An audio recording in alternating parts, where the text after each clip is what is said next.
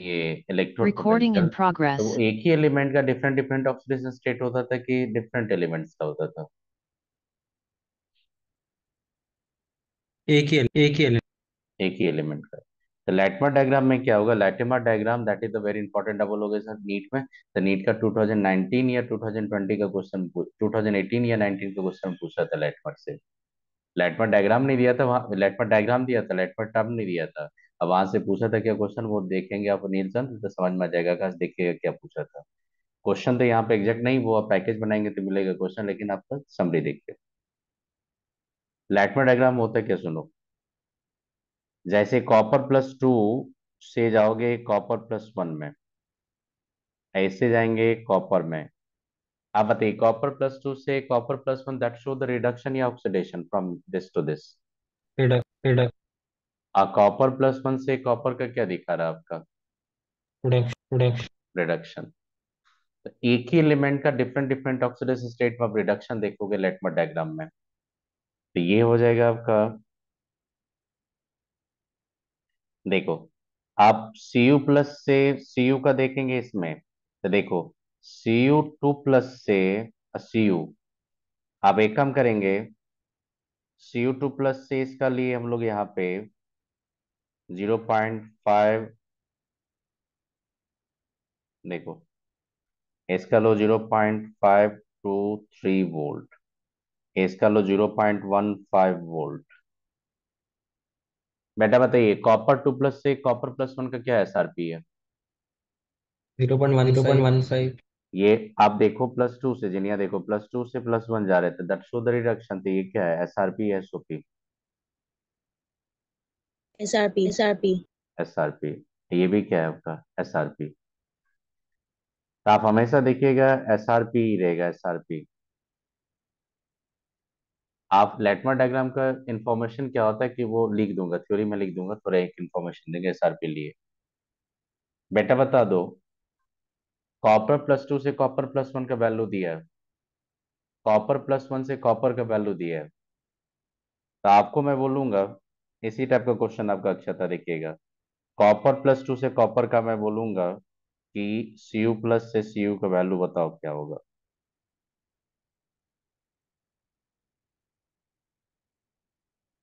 आप खुद से देखो।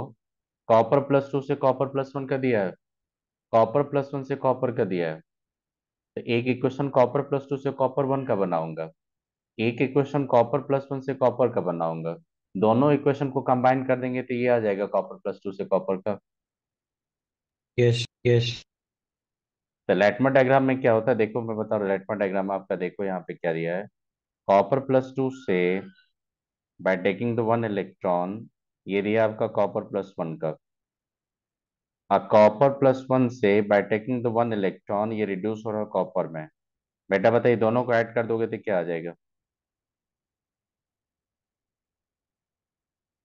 दोनों को ऐड कर देंगे ओवरऑल दोनों को ऐड कर दिए। लैटमर में हमेशा ऐड करना ऐड ही करोगे। फॉरवर्ड जाएँगे, हमेशा ऐड होता तब देखिए copper two plus by taking the two electron that give the copper बस इसी का वैल्यू फाइंड करना था। आप आप खुद से सोचो कि ये वैल्यू जो फाइंड करेंगे, इसका जो इलेक्ट्रोड पोटेंशियल फाइंड करेंगे कॉपर टू प्लस से कॉपर का, ये वैल्यू आपका क्या होगा सुनिएगा। देखना। देखो, अर्चिता, देखो। देखो बेटा देखो। Copper two plus to copper बाबू बोलो फ़र्स्ट स्टेप में how many electron involve one one one अब what is the SRP of that zero point one five plus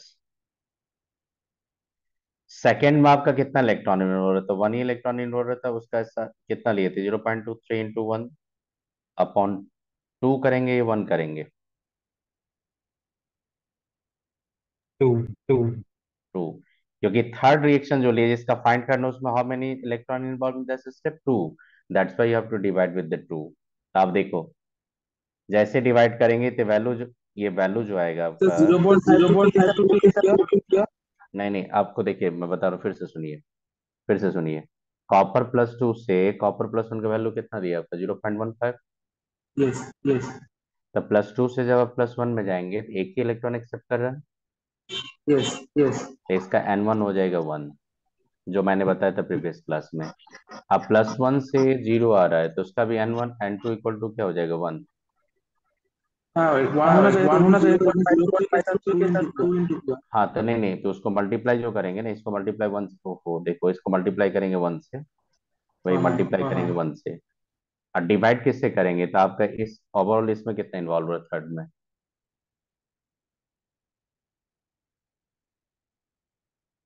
third में कितना हो रहा है? टू तो थर्ड में अगर टू आ रहा है तो दोनों को ऐड जब करोगे तो ये हो जाएगा आपका six seven three by two इसको अगर डिवाइड करोगे, अक्षर कितना आ रहा है? थ्री और ये हो जाएगा आपका three zero point three four के करीब आ जाएगा राउंड ऑफ़ करके।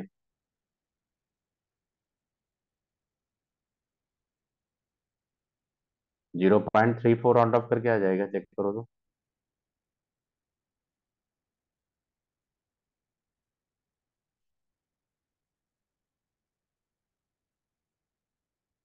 Bolt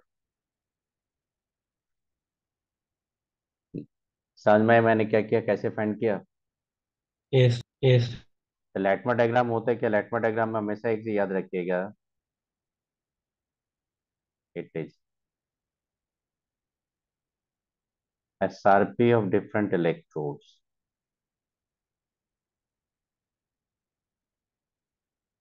in decreasing oxidation state या increasing oxidation state decrease decrease decreasing oxidation state of a given element यहाँ पे कौन सा एलिमेंट है बेटा बताओ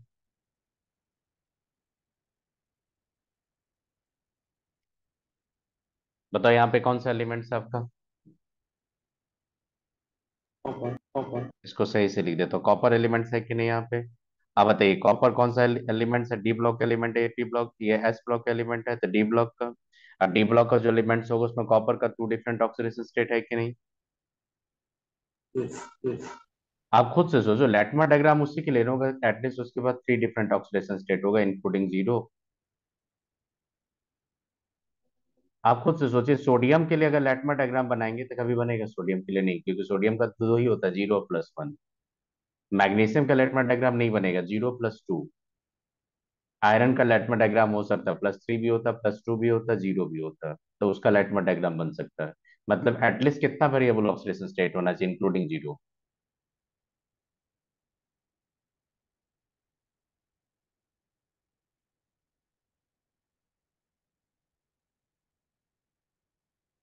SRP of different electrodes.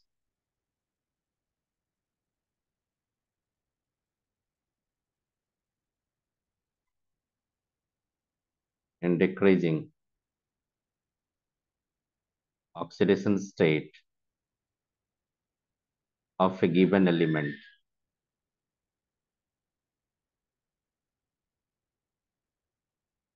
बताइए यहाँ पे गिवन एलिमेंट कौन है आपका कॉपर उसका मैंने डिक्रीजिंग रखा लैटमा डायग्राम में रिप्रेजेंट करने के लिए किसी भी एलिमेंट लो चाहे मेटल हो नॉन मेटल हो डजेंट मैटर उसका मिनिमम कितना ऑक्सीडेशन स्टेट होना चाहिए? थ्री डिफरेंट ये two. Three different oxidation state होगा आकाश तभी आप ये शो करेंगे। यहाँ पे कॉपर का दिखा दिया। अब सुनिए एक काम करते हैं। एक क्वेश्चन और मैं करवाऊँ इससे उसका समझ में आ जाएगा ये सब पूरा।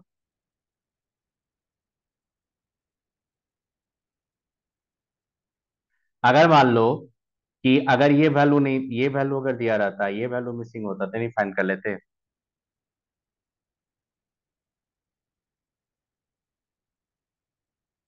यस जैसे देखो। यस हाँ जैसे देखो मैं बता रहा हूँ आपको। लाइटमा डायग्राम क्या होता है सुनिए। कॉपर प्लस टू एक और एग्ज़ाम्पल देने दीजिए इजी एग्ज़ाम्पल उसका समझ में आ जाएगा। कॉपर प्लस वन से plus one copper plus two से प्लस वन ये कॉपर लिए। मैंने बोला आपको कि बेटा इसका जो वैल्यू होता है ये होता है zero point one five volt और इसका यहाँ से इसका जो वैल्यू होता है, ये होता है zero point three four volt का। मैं बोलूँगा इसका वैल्यू बताओ, क्या होगा? नहीं बता दोगे? किसका पूछ रहा है? कॉपर प्लस वन से कॉपर का पूछ रहा है। कॉपर प्लस टू से कॉपर प्लस वन का दिया है। और कॉपर प्लस टू से कॉपर का दिया है। आप देखोगे कैसे बनाओगे, इसमें कैसे करेंगे? कॉपर प्लस टू देखो कॉपर प्लस वन इलेक्ट्रॉन लेके ये चला जाएगा इसमें किसमें? कॉपर प्लस वन में by taking the one electron. Two में क्या हो जाएगा कि copper plus one by taking no दिया क्या आपका copper plus two by taking the two electron ये चला जाएगा कॉपर में। बेटा बताओ, दोनों इक्वेशन को ऐड करोगे सब्सट्रैक्ट करोगे to get the copper plus one to copper तो तो आप ऐसा करेंगे ना, ऐसा करेंगे ना। फ्रॉम इक्वेशन टू से इक्वेशन वन को सब्सट्रैक्ट करोगे कि नहीं?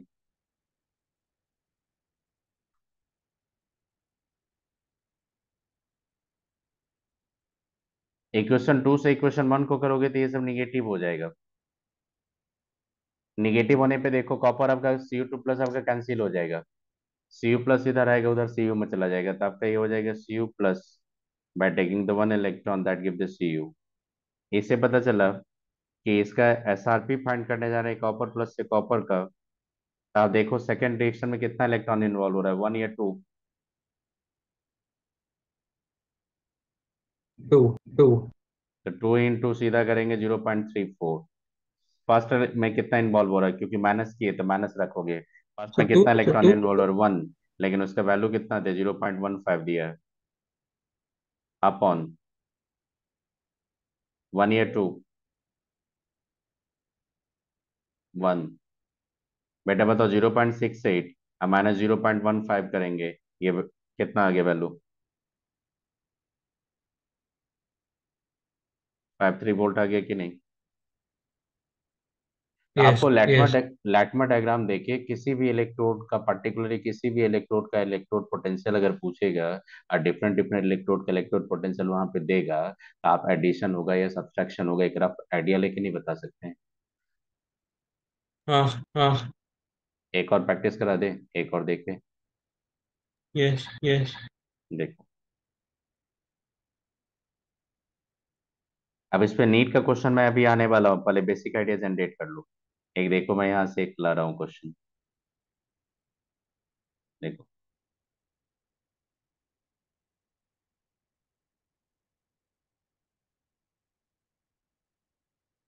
देखो यहाँ पे.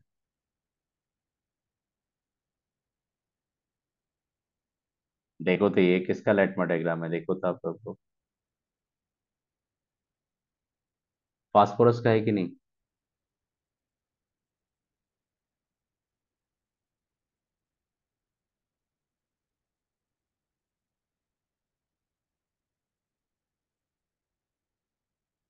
चेक कर लो फास्फोरस का है कि नहीं है? यस यस अब एक काम करो ये इन्होंने क्या क्या बोला कि यहाँ से यहाँ का रिडक्शन पोटेंशियल फाइंड करो मतलब प्लस फाइव से प्लस वन में जाएगा तो उसका एसआरपी आप फाइंड करो। प्लस फोर देखो प्लस फाइव से प्लस फोर का दिया है। प्लस फोर से प्लस थ्री का दिया है। प्लस थ्री से प्लस वन का दिया है। बेटा आपको नहीं लगता कि इससे इसका कन्वर्जन करो? इससे इसका कन्वर्जन करो। ऐसे इसका कन्वर्जन करो। तीनों को ऐड कर दोगे तो यहाँ से यहाँ का कन्वर्जन आ जाएगा। चेक कर लो आप। और एक बार और एक बार बोलिए। मैं बोल लो यहाँ से यहाँ का एक स्टेप ले लो आप। फिर यहाँ से यहाँ का एक स्टेप ले लो। और फिर यहाँ से यहाँ का स्टेप ले लो। तीनों स्टेप को ऐड कर दो तो ये आ जाएगा कि नहीं अल्टीमेटली क्योंकि ये तो इंटरमीडिएट कैंसिल हो जाएगा।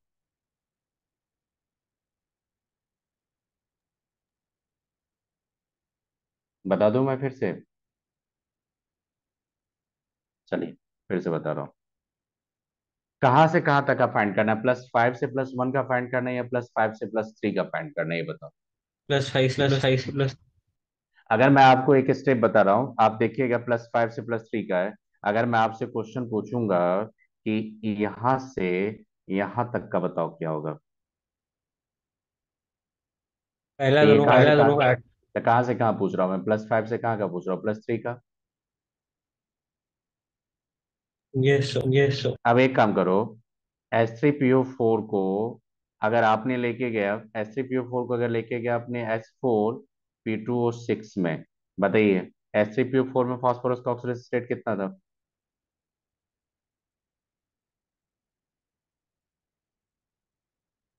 Plus five plus five plus five से बेटा कहाँ जा रहे हो? प्लस फोर मतलब प्लस प्लस फाइव से प्लस फोर जाओगे। कितना इलेक्ट्रॉन इन्वॉल्व होगा? वन ही इलेक्ट्रॉन इन्वॉल्व होगा कि नहीं?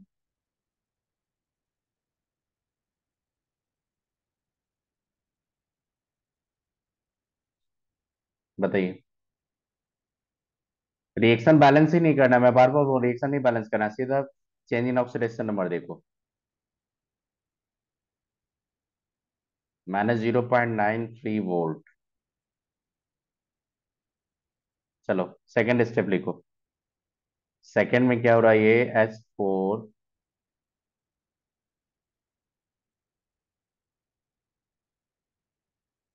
P two O six का। S four P two O six का। मैं सीधा जा रहा हूँ लेके यहाँ पे S three P O three में। आप बताओ, कहाँ से कहाँ जा रहे हो? प्लस फोर से कहाँ जा रहे हो?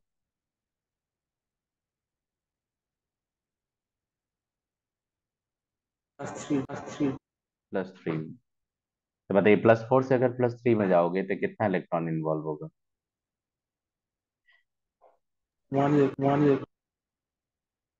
और ई टू नॉट कितना दिया इसका? Zero point three eight volt three मैं बता रहा हूँ आपको कि S three P O four ये चला जाएगा सीधा S three P O three में। बेटा बताओ ये प्लस फाइव से जा रहा हो ये प्लस थ्री में। तो बताओ कितना इलेक्ट्रॉन इन्वॉल्व होगा? टू या वन टू टू टू और इसी का मैंने इलेक्ट्रोड पोटेंशियल इलेक्ट्रोड पोटेंशियल आपको फाइंड करना है इस स्टेप का। देखो तो फिगर वही ना मैंने लिया था रेड कलर का जो लिया था उसी स्टेप का बोल रहा था ना।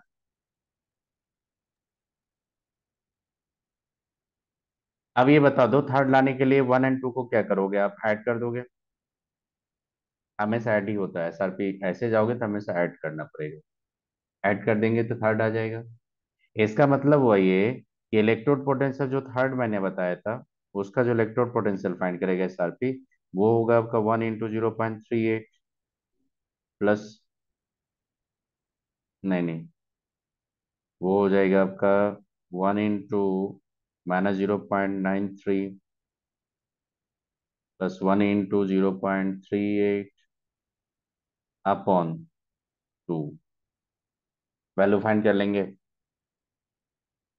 Yes yes.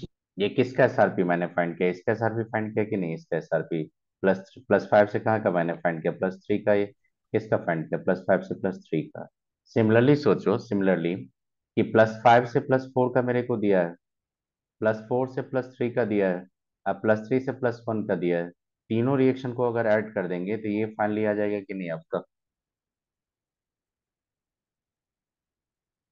हाँ तो वैल्यू हाँ जो वैल्यू जो हम इसका फाइंड करेंगे वैल्यू जो फाइंड करेंगे जहाँ तक मैं देखता हूँ यहाँ पे कि वन इंटू ज़ीरो पॉइंट देखो क्या हो जाएगा मैं बता रहा हूँ देखना यहाँ पे। One into minus zero point nine three orally ये सब हो जाता है। सेकेंड स्टेप बताइए कितना था इलेक्ट्रॉन फोर से प्लस वन में जाइए। तो वन ही आ जाएगा तो zero point three eight third में बताइए प्लस फोर से, देखो प्लस थ्री से प्लस वन में जाएँगे तो कितना इलेक्ट्रॉन होगा? Two electron minus zero point five zero overall बताइए कितना था? प्लस फाइव से प्लस फोर तो फोर इलेक्ट्रॉन यही आपका आंसर जो होगा, वो बोल्ट में आंसर आ जाएगा। इजी है कि नहीं फाइंड करना, बताओ? यस यस कुछ आइडिया लगा लाइटमेट डायग्राम से कैसे फाइंड करते हैं किसी का एसआरपी सर थोड़ी स्क्रॉल डाउन स्क्रॉल डाउन करिए।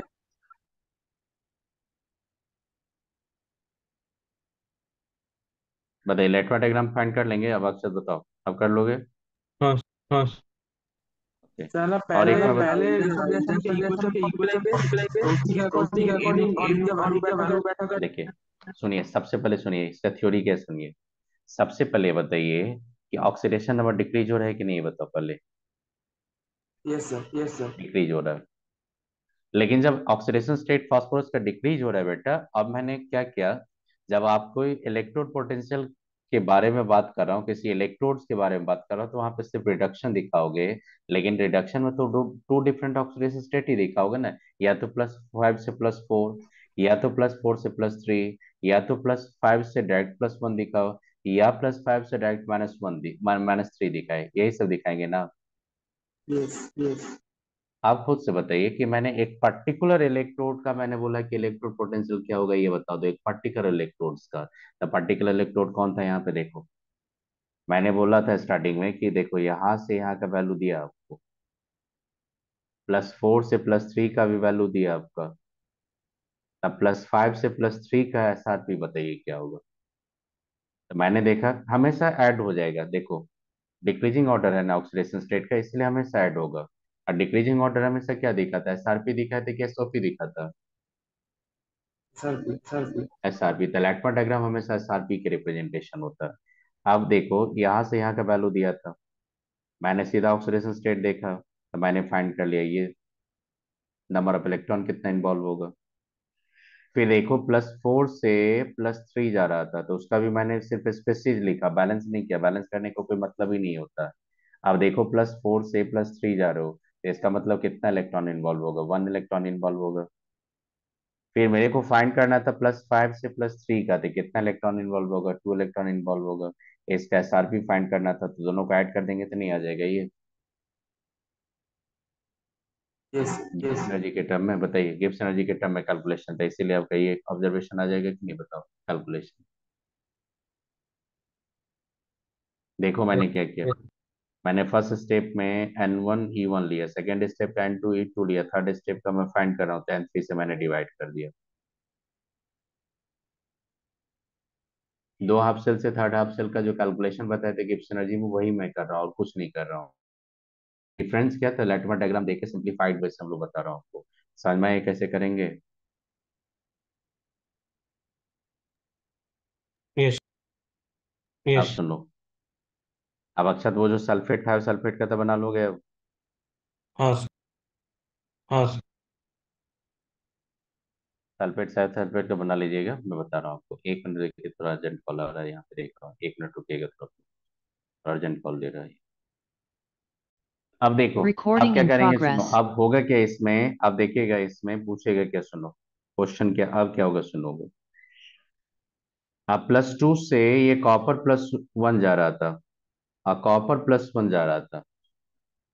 अब अक्षत ये बताइएगा इसका वैल्यू मैंने लिया था zero point one five volt इसका वैल्यू लिए थे zero point five two three volt आप ये बता दो। डिस्प्रोपोर्शनेशन किसका होगा? कौन डिस्प्रोपोर्शनेट करेगा ये बताओ। देखो डिस्प्रोपोर्शनेशन का मतलब होता है जिसका रिडक्शन भी होगा ऑक्सीडेशन भी होगा। तो इसमें किसको डिस्प्रोपोर्शनेट कर लेंगे? प्लस वन को या प्लस टू को? Plus one plus one plus one को। अब आकाश उन्ना यही नीट में क्वेश्चन बहुत कंसेप्चुअल क्वेश्चन पूछा था। उससे ये देखे थे मैक्सिमम स्टूडेंट रॉन्ग करके आ गया था। मैक्सिमम स्टूडेंट लेकिन उसका बहुत शॉर्ट ट्रिक होता है। क्या शॉर्ट ट्रिक होता है सुनो। आप डिस्प्रोपोर्शनेट करने के लिए आप कोई बीच का स्पेसिस को पकड़ोगे एक्सट्रीम लेफ़्ट जो होगा वो आप सबसे रिड्यूस फॉर्म होगा एक्सट्रीम राइट जो होगा, जो एक्सट्रीम राइट देगा वो सबसे ज़्यादा रिड्यूस फॉर्म होगा, और एक्सट्रीम लेफ़्ट जो होगा वो सबसे हायर ऑक्सीडेशन स्टेट में होगा। तो बताइए जो सबसे हायर होगा, और जो सबसे लोअर होगा, उसको तो डिस्प्रोपोर्शनेट नहीं कर पाएँगे आप। क्योंकि खुद से सोचो कि कॉपर प्लस टू से फर्दर कैनॉट बी ऑक्सीडाइज उससे आगे तो नहीं जाएगा। सुन रहा हूँ मैं बता रहा हूँ मैं क्या बात बोल रहा हूँ मैं? अनिल समझ रहे हैं मैं क्या बोल रहा हूँ कि कॉपर प्लस टू में तो कॉपर प्लस टू से कॉपर प्लस थ्री तो नहीं बना सकते ना बेटा आप। ऑक्सीडेशन स्टेट का थोड़ा भी इंफॉर्मेशन रखो ये सब कितना बार बताए थे टेबल में ऑक्सीडेशन स्टेट में बता दिए थे आपको अक्षर मैंने बताया था कॉपर का प्लस वन प्लस टू ही होता है। याद कीजिए। होता है कि नहीं? नहीं नहीं आप एक काम करो कॉपर प्लस टू से कभी प्लस थ्री जाता है बताइए पहले नो नो वो समझ गया वो समझ गया नहीं सुनिए। नहीं नहीं सुनिए फिर से बता रहा हूँ। कॉपर प्लस टू से प्लस थ्री तो नहीं जा सकता? है नो नो अब कॉपर ज़ीरो से तो माइनस वन की तरफ़ नहीं जा सकता है? ना ना मतलब कि कॉपर ये जो स्टेट है इसको तो आप फर्दर रिड्यूस नहीं कर सकते हो। हम्म, हम्म, लेकिन इसको ऑक्सीडाइज कर सकते हो और कॉपर प्लस टू जो होगा फर्दर उसको ऑक्सीडाइज भी नहीं कर सकते आप नो नो इसका मतलब डिस्प्रोपोर्शनेशन जो होगा सिर्फ़ प्लस वन का ही होगा मतलब अरे सुनिए ना बता रहा हूँ आपको कॉपर यहाँ पे प्लस वन है कॉपर प्लस वन से अगर ज़ीरो हो जाएगा तो उसको रिडक्शन बोलेंगे यस यस हाँ कॉपर प्लस वन से प्लस टू हो जाएगा तो उसको ऑक्सीडेशन बोलेंगे। हाँ हाँ। तो आप खुद से बताइए कॉपर प्लस वन को डिस्प्रोपोर्शनेट होने के लिए इधर आपका रिडक्शन होगा इधर ऑक्सीडेशन होगा। हाँ हाँ। तो आप देखो यहाँ से सुनो यहाँ पे मैंने इसको पकड़ा इधर मैंने क्या दिखा दिया इधर मैंने दिखा दिया इसका रिडक्शन इधर क्या दिखा दिया मैंने ऑक्सीडेशन ऑक्सीडेशन कहाँ पे होता है? एनोड पे। और रिडक्शन कहाँ होता है? कैथोड पे।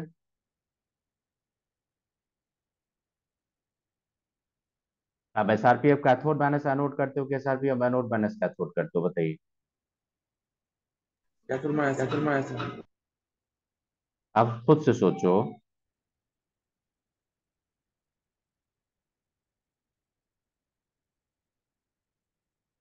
फॉर डिस्प्रोपोर्शनेशन देखो मैंने बोला for disproportionation C U plus E naught cell must be positive.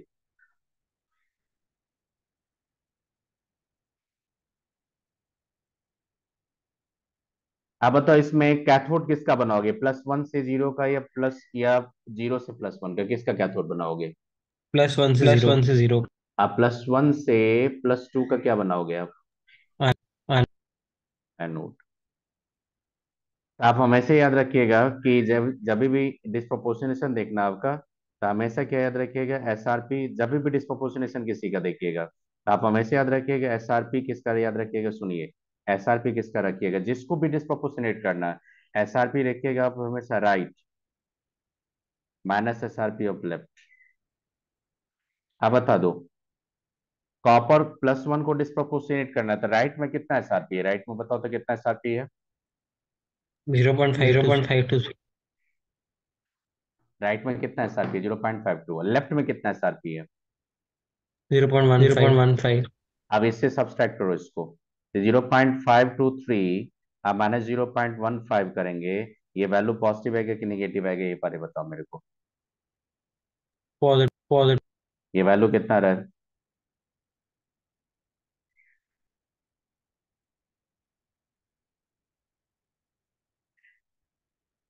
Thirty ये कितना हो जाएगा? थर्टी सेवन थर्टी सिक्स के करीब आएगा ना? कितना रहा ये? Point three point three. Seven three. Zero point? Three seven three seven three. Three seventy three volt. ये बताओ पॉजिटिव या negative? Positive positive. Therefore cu cu plus can be disproportionated. ये स्कूल के एग्ज़ाम में पूछता है कैन बी डिस्प्रोपोर्शनेटेड आई बात समझ में नहीं आई क्या लिखोगे? डिस्योनेटेड देखो सबसे पहले डिस्प्रोपोर्शनेशन लेटमा डायग्राम से अगर डिस्प्रोपोर्शनेशन के लिए पूछेगा आपसे तो आपको मिडिल इंटरमीडिएट ऑक्सीडेशन स्टेट का स्पेसिस पकड़ोगे कि हाईएस्ट या लोएस्ट मिडिल मिडिल इंटरमीडिएट और जो इंटरमीडिएट होगा, उसका लेफ़्ट राइट दोनों ऑक्सीडाइज रेड्यूस फॉर्म होना चाहिए। उसका राइट हमेशा होगा रेड्यूस फॉर्म और लेफ़्ट होगा हमेशा ऑक्सीडाइज फॉर्म होगा ये? तो राइट में अगर उसका रिड्यूस फॉर्म होगा तो राइट को हमेशा बनाओगे कैथोड और लेफ़्ट जो आपका रिड्यूस ऑक्सीडाइज फॉर्म होगा, उसका बनाएँगे हमेशा एनोड तो हमेशा क्या करना है? एसआरपी ऑफ़ राइट और माइनस एसआरपी ऑफ़ लेफ़्ट कर देना। राइट और लेफ़्ट अगर करेंगे तो अगर आपका पॉजिटिव आ गया तो उसको डिस्प्रोपोर्शनेट कर पाओगे। अगर निगेटिव आ गया तो उसको डिस्प्रोपोर्शनेट नहीं कर पाएँगे। आई बात समझ में? एक और एग्जांपल दे दे। समझ आ गया समझ आ गया देखो एक और एग्जांपल दे के बता देते हैं देखो यहाँ पे। ये लास्ट है इसमें ट्राई करना समझने का। ये लास्ट में क्या दिखा रहा हूँ देखो। देखो नीट का जो क्वेश्चन था इसी टाइप का क्वेश्चन था नीट का। देखो यहाँ पे। नीट का जो क्वेश्चन था, देखिए, यहाँ पे क्या था?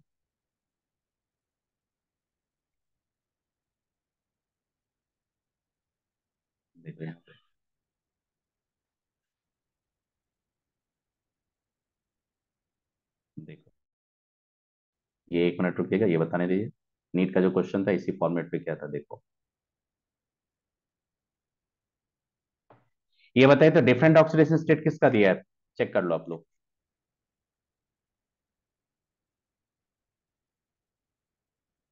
आयोड आयोडीन आयोडीन अब ये बताइए आयोडीन यहाँ पे प्लस सेवन आयोडीन यहाँ पे माइनस वन है। प्लस सेवन से कभी ऊपर जा सकता है ये? नो और आई माइनस कभी माइनस वन से कभी नीचे आ सकता है? तो डिस्प्रोपोर्शनेशन का चांस क्या किसका होगा। इस तीनों का हो सकता है?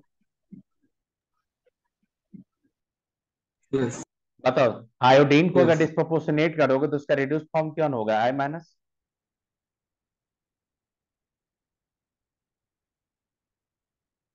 आयोडीन को अगर डिस्प्रोपोर्शनेट करोगे तो आई टू से आई माइनस होगा रिड्यूस फॉर्म वो क्या होगा? रिडक्शन और इधर क्या होगा? ऑक्सीडेशन बेटा क्या करोगे? राइट माइनस लेफ़्ट करो पॉजिटिव निगेटिव किसी बीच को पकड़ो उसका लाइट राइट और लेफ़्ट कर दो। तो ये राइट और लेफ़्ट मैंने पकड़ा। क्या positive. Negative right minus left Neel बताइए आकाश बताओ राइट माइनस लेफ़्ट क्या होगा? निगेटिव या पॉजिटिव नेगेटिव इसका मतलब I two cannot be disproportionated अगर मैं इसको पकड़ूँगा तो इसका राइट माइनस लेफ़्ट देखो तो क्या होगा? पॉजिटिव देखो इसको मैंने पकड़ा इसका अगर पकड़ा आपने तो इसका मैंने क्या किया? ई नॉट सेल पकड़ा मैंने। ई नॉट सेल पकड़ा तो एसआरपी किसका लूँगा मैं? एसआरपी लूँगा मैं राइट का और माइनस एसआरपी किसका लिया मैंने?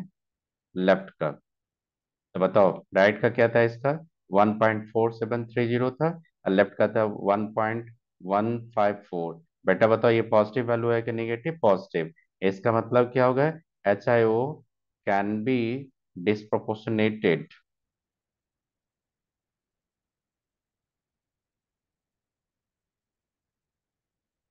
into किसमें डिस्प्रोपोर्शनेट करेगा? I two and H I I O three minus I बात समझ में?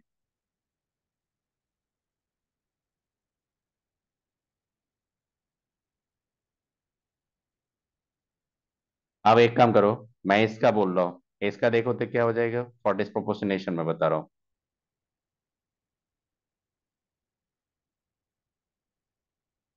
इसका मैंने देखा। तो इसका अगर डिस्प्रोपोर्शनेशन के देखेंगे ई सेल जो फाइंड करेंगे, वो देखो क्या करेंगे। राइट राइट में कितना दिया आपका?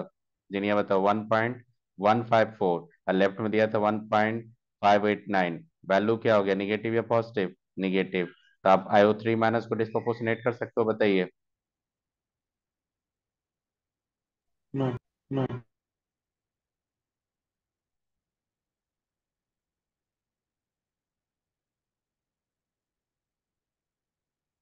डिस्प्रोपोर्शनेटेड बताओ इसमें तीन स्पेसीज का चांस था डिस्प्रोपोर्शनेशन होने का। लेकिन मैंने एसआरपी से चेक किया उसमें सिर्फ़ एच ओ आई का ही डिस्प्रोपोर्शनेशन पॉसिबल है। रिमेनिंग आयोडीन का भी नहीं हो सकता आयो थ्री माइनस का भी नहीं हो सकता। आइडिया लगा कैसे आइडेंटिफाई करेंगे कौन सा डिस्प्रोपोर्शनेट होगा नहीं होगा? आकाश देखना। मैं बता रहा हूँ नीट का क्वेश्चन देखो। ब्रोमीन का इसी फॉर्मेट पे ब्रोमीन का भी दिया था। बी आर वो four minus B R O three minus H O B R B R two B R minus B R minus one अब यहाँ से बोला था कि इसको आप डिस्प्रोपोर्शनेट कर सकते हो। ऑप्शन दिया था ऑप्शन में दिया था यहाँ पे, जैसे ये दिया ये दिया ये दिया और ये दिया। ये तो पहले एलिमिनेट हो जाएगा। इस तीनों का चांस था, लेकिन तीनों को आइडेंटिफाई करने के लिए कैलकुलेशन नहीं करना आपको पकड़ेंगे इसका। तो देखो राइट माइनस लेफ़्ट पॉजिटिव या निगेटिव निगेटिव कट हो गया। इसका पकड़ेंगे राइट माइनस लेफ़्ट पॉजिटिव या निगेटिव पॉजिटिव तो ये डिस्प्रोपोर्शनेट होगा।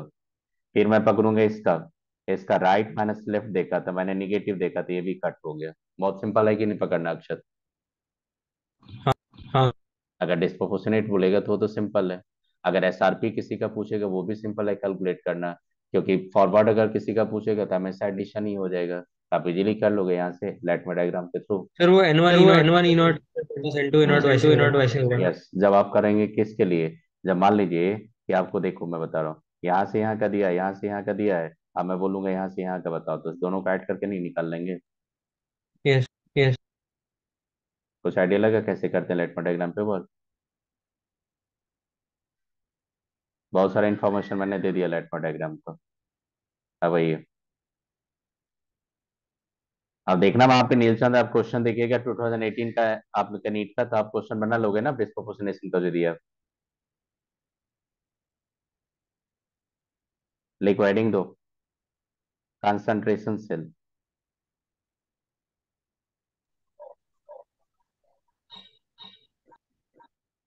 देखो कंसंट्रेशन सेल होता है क्या?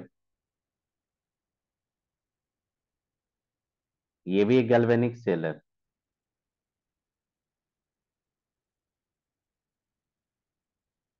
With E naught cell zero बताइए, एक ऐसा कंसंट्रेशन सेल का मतलब एक ऐसा गैल्वेनिक सेल है जिसका स्टैंडर्ड सेल पोटेंशियल क्या है? ज़ीरो अब थोड़ा सोचो कि किसी भी गैल्वेनिक सेल का स्टैंडर्ड सेल पोटेंशियल ज़ीरो कब होगा? जब दोनों के पास इलेक्ट्रोड इलेक्ट्रोलाइट सेम होगा।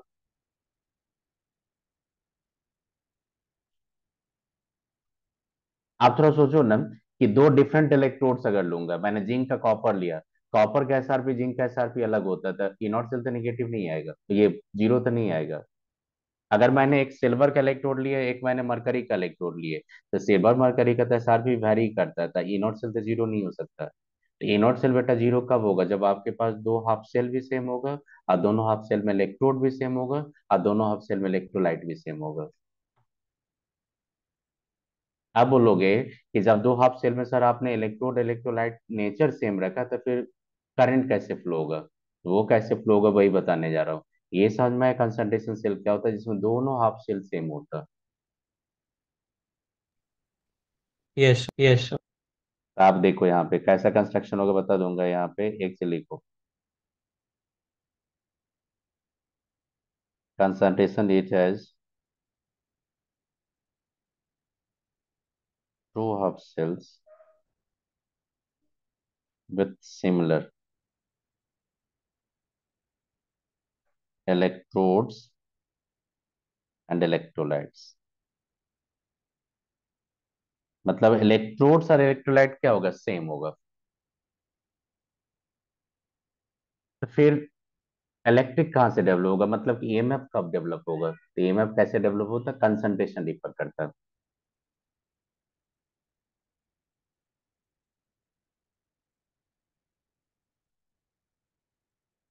and this EMF develop in this cell,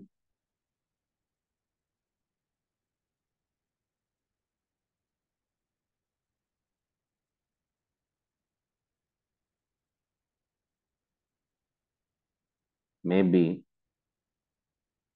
due to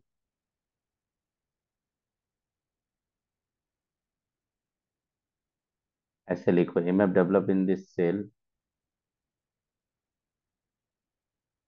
due to differ in concentration of either electrodes or electrolytes. मतलब कि आपको बोलेगा कि ईएमएफ कहाँ से डेवलप होगा यहाँ पे? इलेक्ट्रोमोटिव फोर्स कहाँ से आएगा? सेल पोटेंशियल कहाँ से आएगा? तो क्या बोलोगे? EMF develop in this cell due to differ in concentration of either electrodes और इलेक्ट्रोलाइट आई बात समझ में? मतलब कि या तो इलेक्ट्रोड का कंसंट्रेशन डिफर होगा या तो इलेक्ट्रोलाइट्स का कंसंट्रेशन डिफर होगा। आप बोलोगे, सर इलेक्ट्रोड का कंसंट्रेशन कैसे डिफर होगा? तो इलेक्ट्रोड का कंसंट्रेशन डिफर करने के लिए गैस गैस एंड सेल पे वर्क करना पड़ेगा। तो आप याद रखेंगे कि concentration cell stand for the galvanic cell having the two identical half cell right because we know galvanic cell having the two different half और दो ही different half cell अगर जनरली हम लोग पढ़े हैं, लेकिन यहाँ पे एक ऐसा सेल का बात करें जिसमें दोनों हाफ़ सेल आइडेंटिकल है। और ईएमएफ जो डेवलप होगा इसमें due to differ in concentration of either electrodes और इलेक्ट्रोलाइट्स मतलब या तो इलेक्ट्रोड्स का कंसंट्रेशन डिफर होगा या तो इलेक्ट्रोलाइट्स का होगा।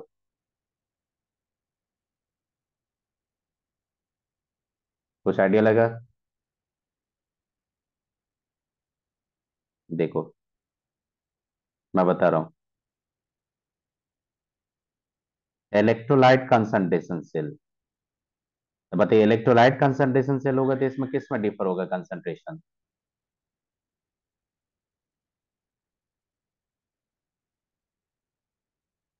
इसमें जो ईएमएफ होगा, ये, इसमें जो ईएमएफ होगा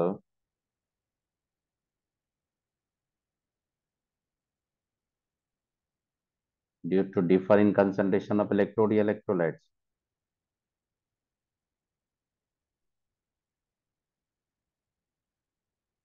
electrolytes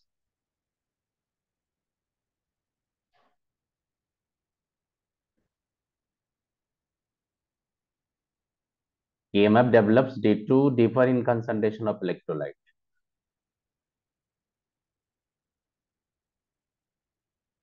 आई बात समझ में yes yes. तो यहाँ पे जो EMF डेवलप होगा due to differ in concentration of electrolytes एक एग्जांपल लेके बता रहा हूँ, देखो फॉर एग्जांपल एक जनरलाइज करके बताते होते देखो यहाँ पे। जैसे M लिए मैंने सॉलिड इसको मैंने ऑक्सीडाइज किया एम एन प्लस में, इसका कंसंट्रेशन सी वन लिया। ये मैंने फिर सॉल्ट ब्रिज ले लिया। देखो ये एम एन प्लस लिया इसका कंसंट्रेशन मैंने सी टू लिया और फिर ये एम सॉलिड लिया। बेटा बताओ, दोनों हाफ़ सेल में एक ही टाइप का मेटल देख रहे हो कि नहीं अब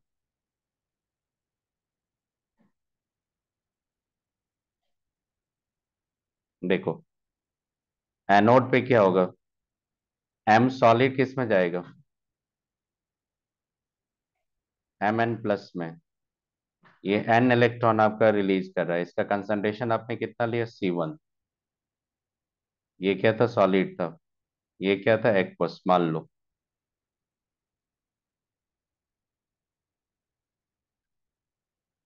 एन इलेक्ट्रॉन्स कैथोड पे जाएँगे तो कैथोड पे आपका क्या हो जाएगा कि एम एन प्लस जो होगा, वो एन इलेक्ट्रॉन को एक्सेप्ट करके वो रिड्यूस हो जाएगा एम सॉलिड में। बेटा दोनों को ऐड कर दो, क्या कैंसिल हो जाएगा चेक कर लो। ये सी टू पे मोल पर लीटर कंसंट्रेशन लिए। ओवरऑल जब सेल रिएक्शन लिखेंगे तो आप देखो ओवरऑल सेल रिएक्शन लिखोगे तो ये और ये कैंसिल हो गया। ओवरऑल सेल रिएक्शन में क्या हो जाएगा? तो ये एम एन प्लस ये सी टू मोल पर लीटर था ये कन्वर्ट हो जाएगा आपका एम एन प्लस ये सी वन मोल पर लीटर था अब देखो ओवरऑल जब सेल रिएक्शन में जाएँगे आप तो ये नंबर ऑफ़ इलेक्ट्रॉन तो इन्वॉल्व नहीं होगा। आप देखो यहाँ पे ये भी प्लस टू ये भी देखो आप एम एन प्लस वन में, ये भी एम एन वन प्लस है। जो आप यहाँ पे देखते हो, वही ऑक्सीडेशन स्टेट यहाँ पे देख रहे हो। लेकिन डिफर कर रहा है सिर्फ़ कंसंट्रेशन में।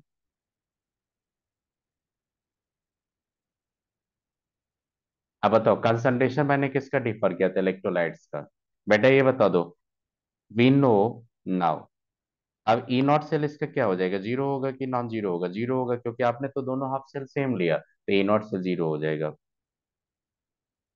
अब अप्लाई कर दो नस्ट इक्वेशन को। बेटा नस्ट इक्वेशन को जब अप्लाई करेंगे ना तो ये ई सेल आएगा। ये ई नॉट सेल आपका क्या हो जाएगा? देखो E naught cell minus zero point zero five nine upon N करेंगे। लॉग आप देखोगे यहाँ पे एम एन प्लस जो आएगा ये आएगा किधर का? ये सी वन तो सी वन आपका किधर से आ रहा है? तो सी वन आ रहा है you are taking from the anode या कैथोड बताओ सी वन किधर से ले रहे हैं आप? एनोड से और एम एन टू प्लस जो सी टू था वो किधर से ले रहे थे हम लोग? कैथोड। मतलब कि concentration of electrolyte cathode anode upon cathode होना चाहिए। अब ये तो आपका ज़ीरो है। ये minus zero point zero five nine one upon N करेंगे। लॉग ये हो जाएगा आपका C one upon C two आपका देखो यहाँ पे फॉर्मूला क्या आ रहा है फाइनल चेक करो। देखो फॉर्मूला क्या हो जाएगा। कोई भी गैल्वेनिक सेल वर्किंग होता है उसके लिए ई सेल क्या होता है? पॉजिटिव या निगेटिव positive positive. पॉजिटिव तो देखो मैं पॉजिटिव कैसे कर रहा हूँ चेक कीजिएगा। आज ये एडवांस का तो सबसे फेवरेट टॉपिक है बहुत क्वेश्चन पूछा हुआ इस पे। अब देखो ई सेल में फाइंड करने जा रहा हूँ। Equal to zero point five zero point zero five nine one मैं कर दिया। Upon N log C two upon C one हो सकता है ये।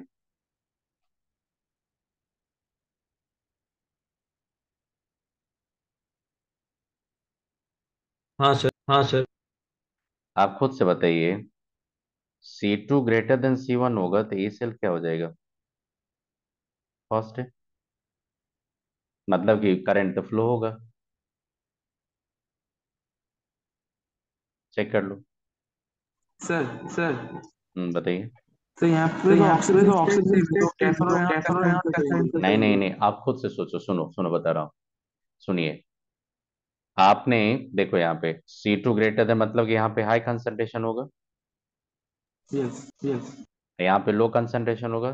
तो जहाँ पे M N M N plus का जहाँ पे हाई कंसंट्रेशन होगा प्रेफर करेगा रिडक्शन क्योंकि अल्टीमेटली इक्विलिब्रियम माना है उसको।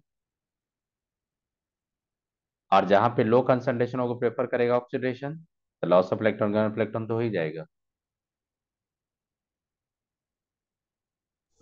बात समझ में? हम्म नहीं नहीं आप देखो अल्टीमेटली दो हाफ़ सेल को जब आप कनेक्ट करते हैं तो अल्टीमेटली क्या आता है? इक्विलिब्रियम आ जाता है कि नहीं? फाइनली तो आप बताइए जहाँ पे जहाँ पे कंसंट्रेशन हाई होगा वो प्रेफर करेगा रिडक्शन और जहाँ पे कंसंट्रेशन ऑफ़ इलेक्ट्रोलाइट लो होगा वो प्रेफर करेगा ऑक्सीडेशन क्योंकि अल्टीमेटली दोनों का कंसंट्रेशन इक्वल करना है। तो जहाँ हायर होगा वो लो होना चाहेगा और जो लो होगा वो हाई होना चाहिए तभी इक्वल कर पाएँगे एक सर्टेन टाइम में। यस तो इसका मतलब क्या होगा? ट्रांसफ़र ऑफ़ मैटर तो होगा। मतलब इलेक्ट्रॉन चार्ज तो फ्लो होगा चार्ज फ्लो होगा तो करंट आ जाएगा।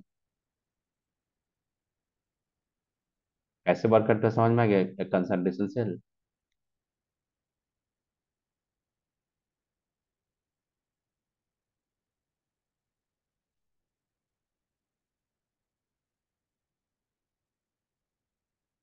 half cell with high molar concentration of electrolyte. Act as cathode या anode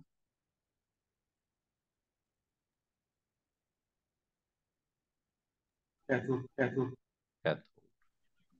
तो आपको अगर हाफ़ सेल दे देगा मान लो आपको मैंने कहीं पे सेल आपको मैंने सेल रिप्रेजेंटेशन दे दिया अब मैं बोलूँगा इसका ई सेल बताओ अगर आपको ये आइडिया लगे कि कंसंट्रेशन सेल है तो हायर कैथोड हायर कंसंट्रेशन को क्या लोगे? कैथोड या नोड और लोअर कंसंट्रेशन को क्या करोगे आप? एनोड आप एक काम करो मैं एक एग्जांपल लेके बता देता हूँ देखना यहाँ पे। ये सबसे पहले बताइए सुनो सबसे पहले बताओ ये जो सेल रिप्रेजेंटेशन है इसके थ्रू सेल रिएक्शन समझ में आया आपको? यस यस और उसके बाद मैंने क्या किया नेक्स्ट इक्वेशन अप्लाई करके ई नॉट से ज़ीरो करके मैंने फॉर्मूला जनरेट कर लिया। सी टू क्या दिखा रहा है? कैथोड या एनोड का कंसंट्रेशन कैथोड का। सी टू अब देखो यहाँ पे जिंक मैंने लिया यहाँ पे जेड एन टू प्लस ये zero point zero one molar है। और ये मैंने यहाँ पे जेड एन लिया जेड एन टू प्लस लिया देखो। Z N two plus wait Z N two plus ये दिखा रहा हूँ मैं ज़ीरो पॉइंट वन मोलर अब बताइए जिंक होगा। इसका ई सेल क्या होगा बता दोगे आप लोग? बताओ राइट साइड लेफ़्ट साइड किसको कैथोड लेंगे? इसमें बताइए तो कंसंट्रेशन किधर देख रहे हैं ज़्यादा बताइए आप। देखो। राइट साइड राइट साइड का राइट साइड तो आपका इलेक्ट्रॉन जो फ्लो होगा कुछ ऐसे फ्लो होगा कि नहीं इलेक्ट्रॉन तो करंट इधर आ जाएगा।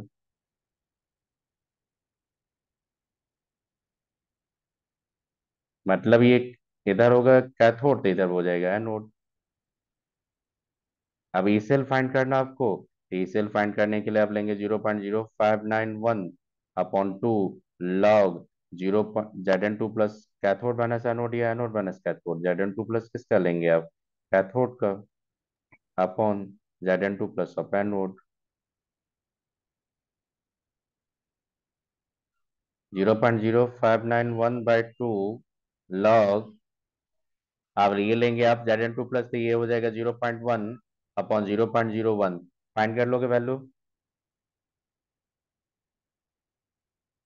ये वैल्यू जाएँगे तो आपका ये देखो। लॉग टेन लॉग टेन का वैल्यू ज़ीरो पॉइंट वन लेंगे तो ये zero point zero approximately three volt के करीब आ जाएगा कि नहीं?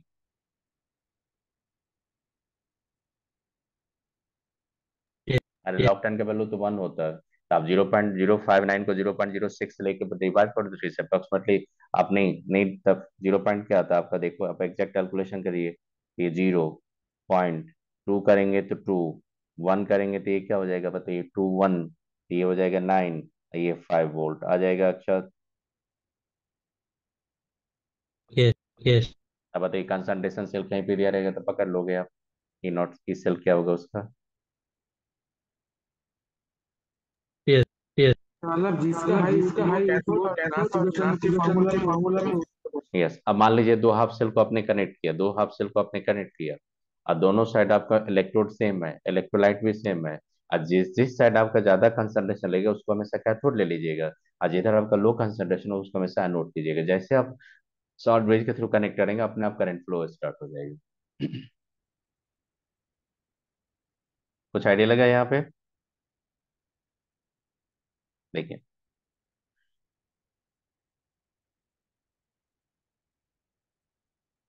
आप कौन सा कंसंट्रेशन सेल पे वर्क कर रहे हैं हम लोग?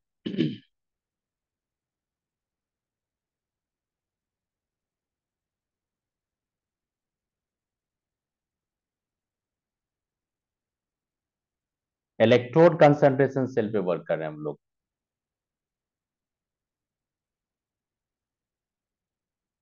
बेटा बताओ इलेक्ट्रोड कंसंट्रेशन सेल में जब जाएँगे तो ये पर्टिकुलरली किसके लिए होगा?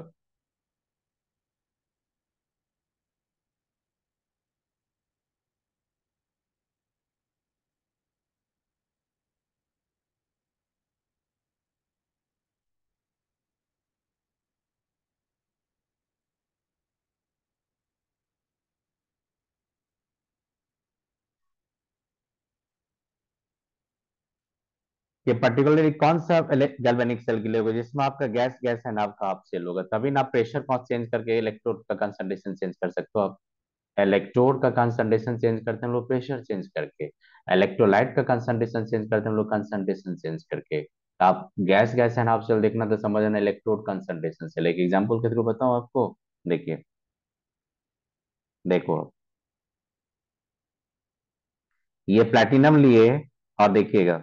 ये हाइड्रोजन गैस लिया मैंने। और हाइड्रोजन गैस यहाँ पे पी वन एटीएम पे लिया। ये कनेक्ट कर रहा है आपका एच प्लस एक्वस से। और फिर देखो इधर मैंने एच टू गैस लिया। ये पी टू प्रेशर पे ये प्लेटिनम से कनेक्ट कर रहा है। बेटा बता दो, एक साइड से प्रेशर बबल करो पी वन पे और एक साइड से प्रेशर बबल करो पी टू पे। तो देखो प्रेशर डिफर कर रहा है या कंसंट्रेशन डिफर कर रहा है।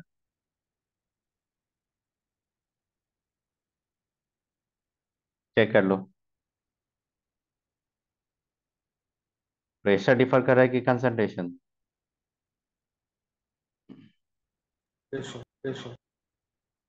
एनोड पे क्या था ऑक्सीडेशन ही रिडक्शन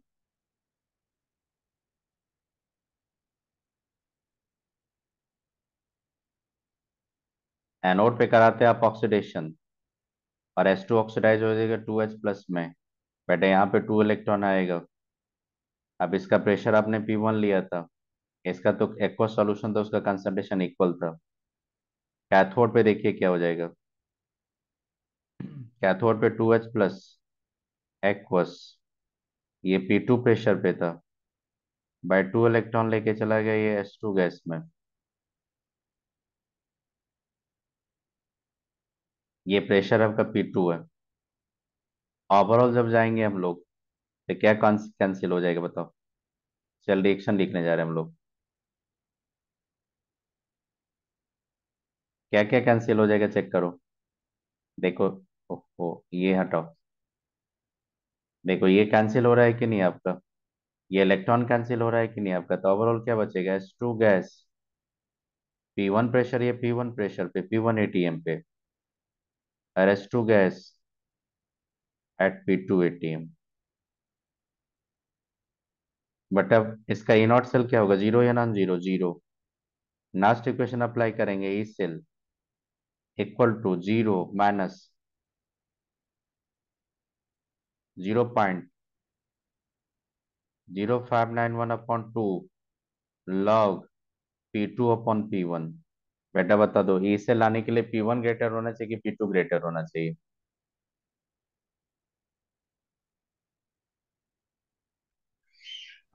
आपको मैंने बोला है कि ई सेल लाने के लिए ई सेल पॉजिटिव लाने के लिए आप करेंगे zero point zero five nine one upon two log P two upon P one या इसी को बोल सकते हैं आप लोग यहाँ पे। R T N F ln P two upon P one आप खुद से बताओ for E nought E cell positive P क्या होना चाहिए? रॉन्ग कर दिया मैंने इधर।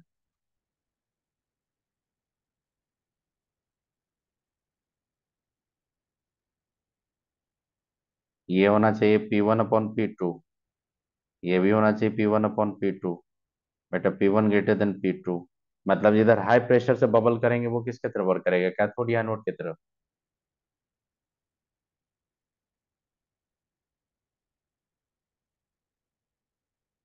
And and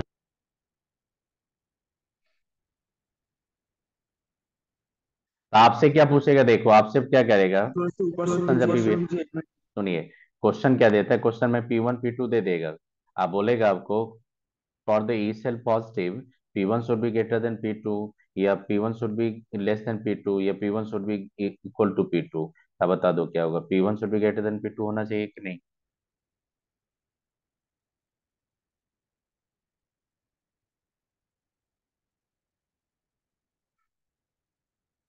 कुछ आइडिया लगा? Yes yes. मतलब कि ये सेल कैसा दिखने में होगा? तो थोड़ा सोचो अक्षत ये सेल कैसा होगा आपका? दोनों साइड आपका हाइड्रोजन इलेक्ट्रोड है तो हाइड्रोजन इलेक्ट्रोड तो मैंने बता ही दिया था कैसे होता है हाइड्रोजन इलेक्ट्रोड ये नहीं बताए थे। देखो। यही हाइड्रोजन इलेक्ट्रोड है कि नहीं आपका? चेक कर लो।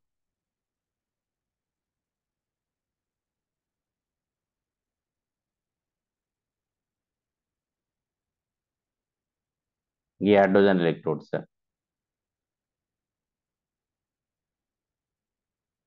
आपका तो चलो इसको मैं कैंसिल कर देता हूँ। हाइड्रोजन इलेक्ट्रोड आने दो इसको। और इसी टाइप के एक हाइड्रोजन इलेक्ट्रोड को और भी उसके साथ कनेक्ट कर दो। इसी टाइप के एक हाइड्रोजन इलेक्ट्रोड को और भी कनेक्ट कर दो। तो क्या हो जाएगा आपका? देखो, मैंने कनेक्ट कर दिया यहाँ पे, देखो। बीच में क्या करो आप बेटा? सॉल्ट बीज दे दो यहाँ से। इधर हाइड्रोजन वन एटीएम के लिए, इधर हाइड्रोजन आप टू एटीएम पे ले लो। तो बताइए, इसका ई सेल पॉजिटिव होगा कि नेगेटिव पॉजिटिव देखो, इधर भी आपने H प्लस वन मोलर लिया, इधर भी H प्लस आपने वन मोलर लिया। इलेक्ट्रोलाइट के कंसंट्रेशन आप डिफर नहीं करो। आप डिफर करो कंसंट्रेशन ऑफ़ इलेक्ट्रोड इलेक्ट्रोड तो बोलोगे, सर, आपने प्लैटिनम लिया। था प्लैटिनम तो लिटरली होता नहीं है। ये हाइड्रोजन गैस आ रहा है वहाँ पे। तो हाइड्रोजन गैस के प्रेशर में मैंने डिफर करके यहाँ पे सेल पोटेंशियल डेवलप कर लिया कर लेंगे? So मतलब एनोड का एनोड का ज़्यादा हम्म एनोड का ज़्यादा होना चाहिए। अब एक काम करो। एक क्वेश्चन मैं दे रहा हूँ आपको देखिएगा। बी आर टू गैस है ये। ये हो जाएगा बी आर माइनस एक्वस में। और ये जाएगा बी आर टू गैस ये जाएगा आपका नहीं नहीं आप देखिए ना यहाँ पे देखिए सेल रिएक्शन के बेसिस पर पकड़िएगा। सेल रिएक्शन के बेसिस पे। यहाँ पे पी वन एटीएम है और यहाँ पे पी टू एटीएम है। अब बताइए। मैं बोल रहा हूँ for E cell positive P one should be greater than P two या P one should be less than P two या P one equal to P two क्या होना चाहिए?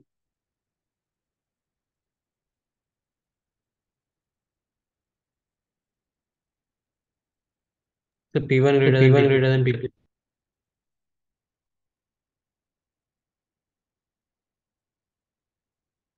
मैं बार बार बोल रहा हूँ सेल रिएक्शन के थ्रू दिया सेल रिएक्शन पे कंसंट्रेट कीजिए नहीं तो कंफ्यूजन में चला जाइएगा सेल रिएक्शन दिखा दूँ मैं कैसे पी वन पी टू में ग्रेटर कर दिया मैंने? Yes आप एक काम करो। एनोड पे क्या होता है? ऑक्सीडेशन या रिडक्शन बी आर माइनस किसमें जाएगा? बी आर टू में जाएगा कि नहीं? आप इसका लोगे पी वन कैथोड पे क्या होता है? रिडक्शन तो बी आर टू जो था, ये पी टू से, ये टू इलेक्ट्रॉन लेके जाएगा बी आर माइनस में। ओवरऑल बताइए। सेल रिएक्शन आपका बी आर टू जो जा रहा है, ये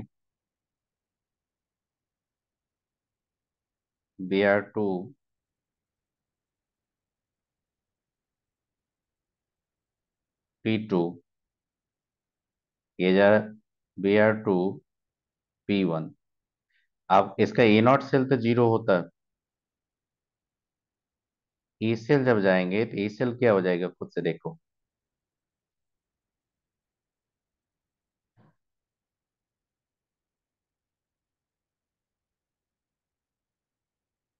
ई सेल जो होगा ई सेल वो zero minus zero point zero five nine one upon two log P one upon P two करेंगे। वही हो जाएगा आपका zero point zero five nine one two log P two upon P one बेटा बताओ, क्या होना चाहिए सेल पॉजिटिव के लिए? P2 greater than P2 greater than P.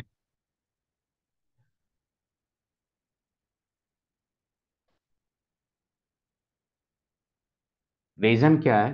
Hydrogen plus one plus state में था। इसीलिए वो ऑक्सीडाइज स्टेट में था। यहाँ पे गैसेस आयन आपका रिड्यूस फॉर्म में है रिवर्स हो जाएगा ना रिएक्शन में पी वन पी टू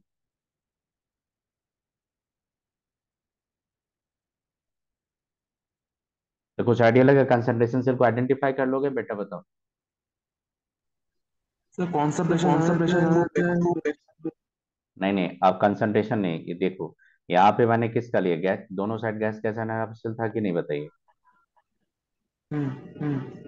आपका ये रिड्यूस फॉर्म आपका बी आर माइनस है उसका कंसंट्रेशन मैंने इक्वल रख दिया दोनों के लिए। तो मैंने इक्वल रख दिया यहाँ पे। अब ये expression P one P two के टर्म में मैंने लास्ट इक्वेशन अप्लाई कर दिया। अब बताओ तो P two should be greater than P one इसका मतलब क्या हो गया? कि आप राइट साइड जो ये प्रेशर ज़्यादा होना चाहिए इस प्रेशर से तभी आपका सेल वर्किंग होगा। ना वो salt कैसे bridge नहीं नहीं सॉल्ट ब्रिज सॉल्ट ब्रिज का बता रहे हैं आप। Salt ब्रिज क्यों नहीं है क्यों नहीं है सर सॉल्ट ब्रिज क्यों नहीं है? क्योंकि देखो यहाँ पे आप जो कंसंट्रेशन ले रहे हैं वो तो इक्वल दोनों के लिए ले रहे हैं।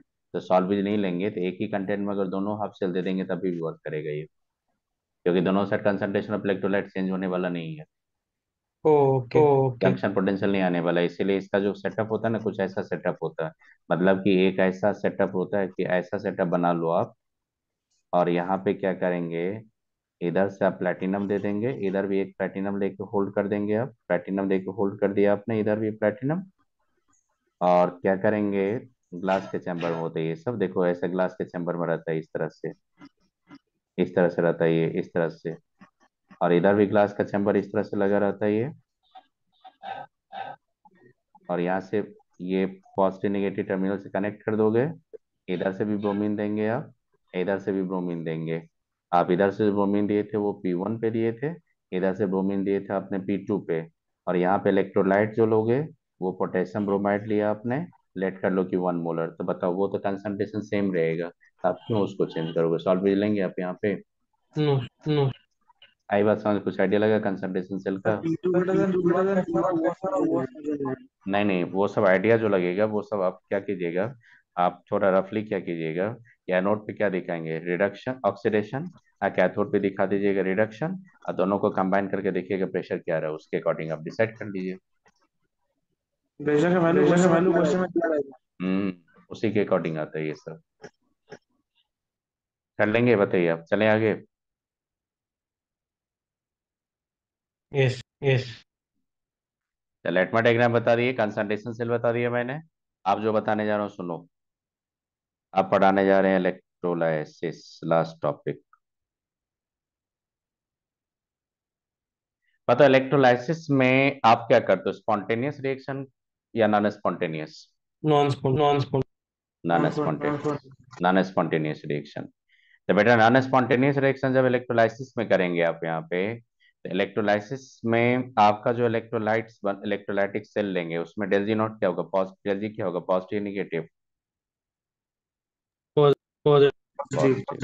पॉजिटिव राइट अब देखो कि इसमें एक मैं कुछ क्वेश्चन दिखा रहा हूँ इसमें देखना है यहाँ पे नेक्स्ट इक्वेशन पे बेस पे तो उस पे था।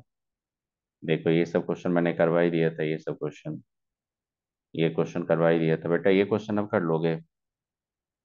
ये दोनों।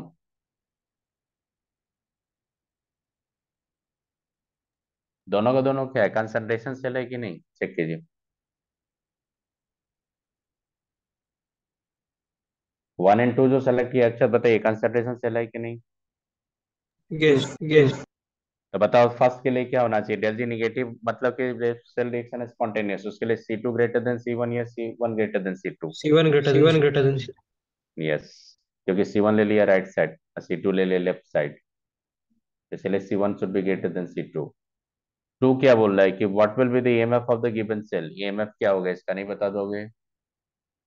So option C. Option C. No P one option A आ जाएगा। ये ऑप्शन सी आ जाएगा राइट नो ऑप्शन सी नहीं आएगा ऑप्शन बी आएगा। R T by N F two F हो जाएगा। Ln P one by P two Oh, हाँ, two, हाँ, two, हाँ. Right, right. चलिए समझ में आ गया ये सब? पकड़ लोगे question uh, So, but, sim- uh, similar दिखाया था। दिखाया था P2 by P1 आया P1 आया था। हम्म तो P one by P two था ही रहा। आपका हाइड्रोजन इलेक्ट्रोड के लिए तो P one by P two लिए ही थे हम लोग। So आपने देखो, आपने पर P1 लिया था। P1 लिया था। देखिए यहाँ पे पी वन किधर रेखा राइट लेफ़्ट साइड अब पी टू लिखा लेफ़्ट साइड तो जिधर से पी वन इसका ज़्यादा रहेगा वही क्या एनोड होगा। जिधर कम रहेगा वो कैथोड हो जाएगा। Okay, okay, okay, okay. वो हाइड्रोजन इलेक्ट्रोड के लिए अलग हो जाता। है इसके लिए अलग होता। चलो। तो कंसंट्रेशन सेल पकड़ लोगे ना बेटा आप लोग?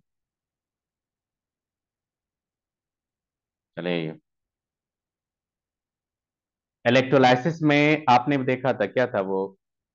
इलेक्ट्रोलाइसिस लेते हैं हम लोग। इलेक्ट्रोलाइसिस में दो इलेक्ट्रोड्स होता है। देखो इलेक्ट्रोलाइसिस अब करते हो बेटा तो आपका एक इलेक्ट्रोलाइटिक सेल होता है। जैसे आप पढ़ते हो इलेक्ट्रोलाइटिक सेल इलेक्ट्रोलाइटिक सेल दिखाने जा रहा हूँ। उसके बाद पढ़ाऊँगा आपका इलेक्ट्रोलाइसिस में क्या होता है, देखो यहाँ पे। एक इस तरह का सेल बनाते हैं हम लोग।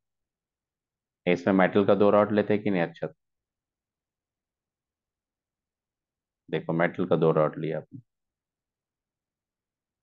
उसको बैटरी के एक पॉजिटिव टर्मिनल से ज़रूरत है, एक निगेटिव टर्मिनल से। तो जिसको बैटरी के पॉजिटिव से कनेक्ट करते उसको क्या बोलते हो आप?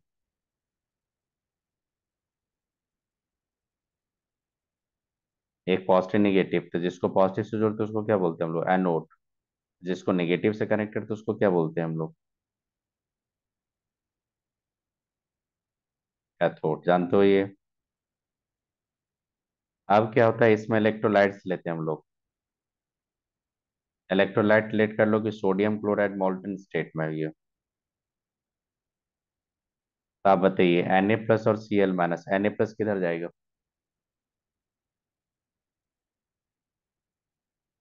कैथोड कैथोड के ये जाएगा कैथोड के तरफ़। तो ये किधर जाएगा? एनोड के तरफ़। मतलब कि एनोड पे क्या होगा? ऑक्सीडेशन या रिडक्शन? तो ये Cl माइनस किसमें ऑक्सीडाइज हो जाएगा?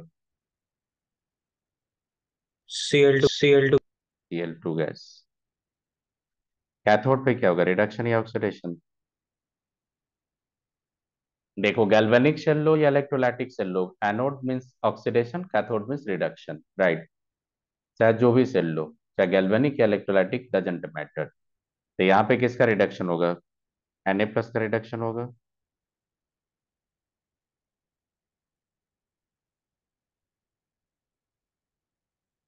टू Na में। ओवरऑल रिएक्शन बताइए।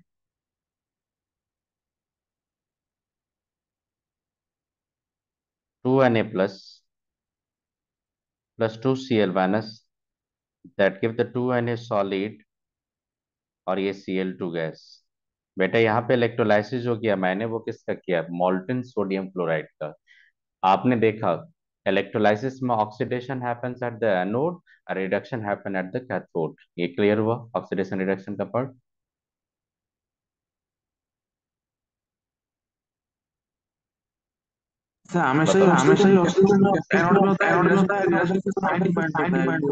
सुनिए आप किस पे वर्क करें? गैल्वेनिक सेल है कि इलेक्ट्रोलाइटिक सेल है? ये पहले बताइए। इलेक्ट्रोलाइटिक सेल है। आप इलेक्ट्रोलाइटिक सेल लीजिए या गैल्वेनिक सेल लीजिए anode stand for the oxidation और कैथोड स्टैंड फॉर रिडक्शन खुद से सोचिए कि एनोड आपको एनोड को अपनी बैटरी से किससे कनेक्ट किए पॉजिटिव साइड से। तो उस पर मूव करेगा हमेशा निगेटिव चार्ज तो नेगेटिव चार्ज वहाँ पे डिस्चार्ज होगा तो नेगेटिव चार्ज डिस्चार्ज होकर क्या बनाएगा? ऑक्सीडाइज फॉर्म में जाएगा ना वो? और कैथोड पे जाएगा कैटायन तो कैटायन इलेक्ट्रॉन लेके फिर रिड्यूस हो जाएगा किसमें? मेटल में। तो आप तो हमेशा याद रखना कि चाहे गैल्वेनिक सेल लो या इलेक्ट्रोलाइटिक सेल लो एनोड का मतलब ऑक्सीडेशन कैथोड का मतलब रिडक्शन डिफरेंस यही है यहाँ पे जो डेल जी लेंगे, वो डेल जी क्या हो जाएगा? पॉजिटिव या निगेटिव पॉजिटिव मतलब ये रिएक्शन आपका क्या होगा? स्पॉन्टेनियस है non spontaneous non non non spontaneous आई बात समझ में? कुछ आइडिया लगा?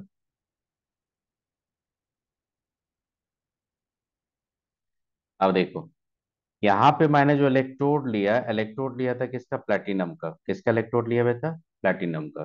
तो प्लेटिनम इलेक्ट्रोड जब जाओगे तो इलेक्ट्रोड दो टाइप का होता। है एक होता रिएक्टिव इलेक्ट्रोड एक होता नॉन रिएक्टिव इलेक्ट्रोड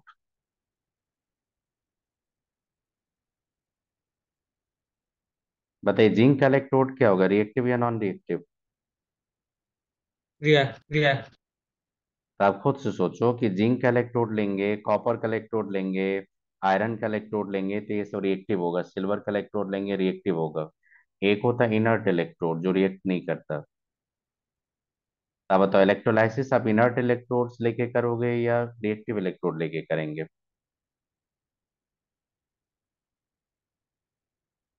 एक एग्ज़ाम्पल लेके बता देता हूँ, सबसे पहले याद रखिएगा।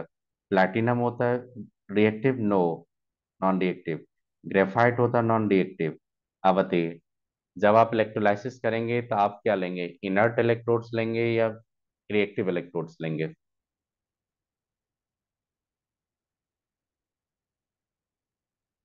जब इलेक्ट्रोलाइसिस करेंगे तो आप जब इलेक्ट्रोलाइसिस करते तो आप इनर्ट इलेक्ट्रोड लेंगे कि रिएक्टिव इलेक्ट्रोड लेंगे? तो इनर्ट इलेक्ट्रोड लेंगे।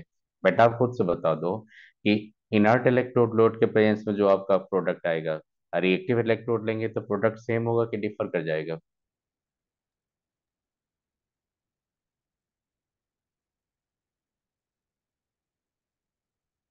मैंने क्या बोला आपको? कि आप रिएक्टिव इलेक्ट्रोड लो इनर्ट इलेक्ट्रोड लो। इलेक्ट्रोलाइट सेम लो जिसका इलेक्ट्रोलाइसिस करना है। तो प्रोडक्ट आपका आइडेंटिकल होगा कि डिफर कर जाएगा? अरे सिंपल थ्योरी है कि रिएक्टिव है ये नॉन रिएक्टिव है तो प्रोडक्ट कहाँ से एक मिलेगा? प्रोडक्ट डिफर कर जाता है। इलेक्ट्रोलाइसिस का जो प्रोडक्ट होता है, वो डिपेंड करता है आपने इलेक्ट्रोड्स क्या लिया? अगर आप इलेक्ट्रोड चेंज कर दोगे ना इलेक्ट्रोड चेंज कर दोगे इलेक्ट्रोड चेंज कर दोगे तो आपका प्रोडक्ट भी चेंज हो जाएगा। आई बात समझ में क्या बोला मैंने? हाँ हाँ। तो देखो। आप लिखो आप लोग जो क्वेश्चन पूछता है। Product of electrolysis by using कौन सा इलेक्ट्रोड ले रहा हूँ मैं?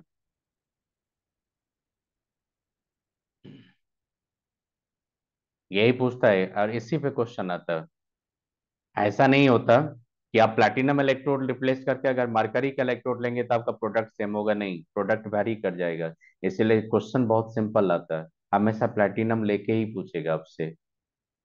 एक रिएक्टिव लेके मैं बता दूँगा लेकिन प्लैटिनम लेके ही पूछेगा। तो आपने कौन सा इलेक्ट्रोड लिया रिएक्टिव इलेक्ट्रोड या non reactive electrodes non non non reactive तो इसमें क्या होता है? देखो रूल क्या होता है? देखो। रूल वन कब पूछता क्वेश्चन इस पे। जेई में भी पूछता नीट में भी पूछता देखो क्या हो जाएगा। Cation with I S R P will get discharge first at कैथपोर्ट बताओ cation with the highest RP will get discharge first at cathode मतलब बहुत सारा कैटायंस होगा सॉल्यूशन में। सबसे पहले कौन डिस्चार्ज होके जाएगा कैथोड पे? जिसका एसआरपी हाई या लो होगा अरे बेटा सिंपल थ्योरी है। एसआरपी हाई होगा मतलब रिडक्शन टेंडेंसी हाई है। तो जल्दी इलेक्ट्रॉन लेके डिस्चार्ज हो जाएगा कि नहीं वो? यस यस आप एग्ज़ाम्पल लेके बता रहा हूँ देखो।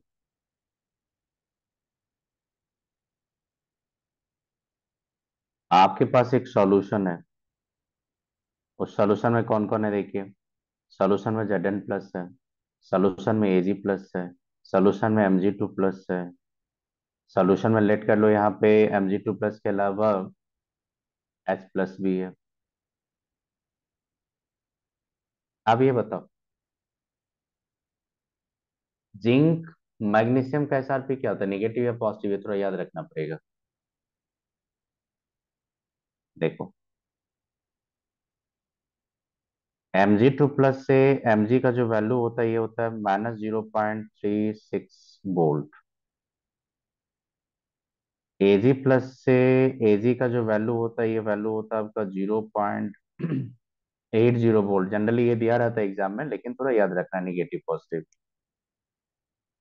और जेड एन टू प्लस से जिंक का जो वैल्यू होता है, ये होता है minus zero point seven six volt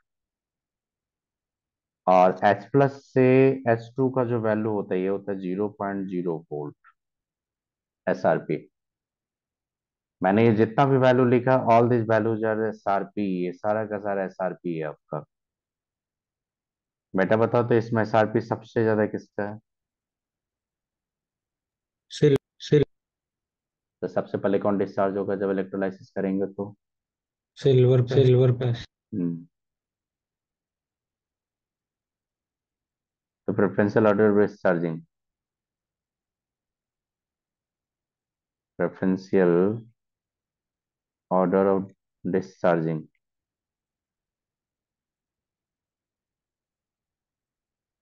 at cathode बताइए कौन जाएगा पहले?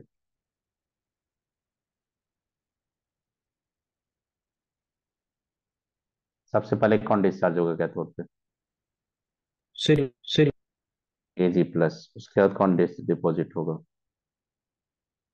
एच प्लस उसके बाद कौन जाएगा? जेड एन टू प्लस सबसे कम जो, कौन जाएगा लास्ट में?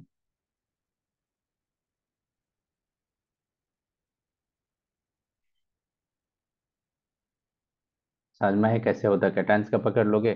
आप इलेक्ट्रोकेमिकल सीरीज़ का जब हेल्प लेंगे तो आप खुद से बताइए, जब आपके पास एन ए प्लस होगा कैल्शियम टू प्लस होगा, ये सब का बहुत निगेटिव होता है। तो ये सब प्रेफर नहीं करेगा रिडक्शन प्रेफर वो रिडक्शन करेंगे जिसका एसआरपी हाई होगा।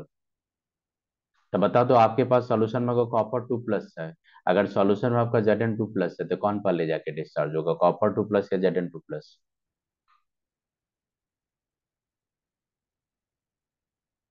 अरे बेटा कॉपर प्लस टू से ज़ीरो का एसआरपी होता है पॉजिटिव और जिंक जेड टू प्लस से जिंक का होता है निगेटिव तो पहले कौन जाएगा? जिसका हायर वैल्यू होता है हायर वैल्यू होता है कॉपर का तो कॉपर पहले डिस्चार्ज होगा।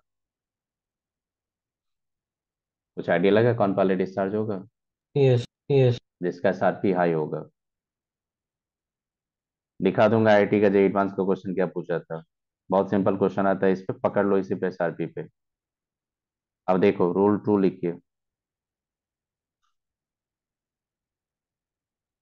Anion with low SRP SRP low होगा that is high SOP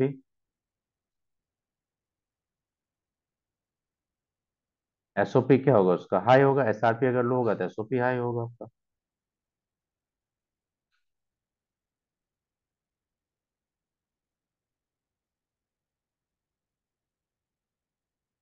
will get discharged first at anode अब इसको पकड़ने के लिए आपको करना क्या पड़ेगा सुनो। मैं यहाँ पे एसआरपी बोल रहा हूँ। देखो। सबसे ज़्यादा एसआरपी होता है सल्फेट का। उससे भी ज़्यादा था फ्लोराइड का। आपने तो देखा था वहाँ पे फ्लोराइड का। उसका एसआरपी होता है सल्फेट का। उसके बाद होता है नाइट्रेट का उसके बाद होता है हाइड्रोक्साइड उसके बाद होता है बेटा एसीटेट उसके बाद आप लेंगे किसका सुनिए उसका बाद होगा क्लोराइड उसके बाद होगा ब्रोमाइड उसके बाद होगा आयोडाइड तो बताइए सबसे ज़्यादा एसआरपी किसका ज़्यादा?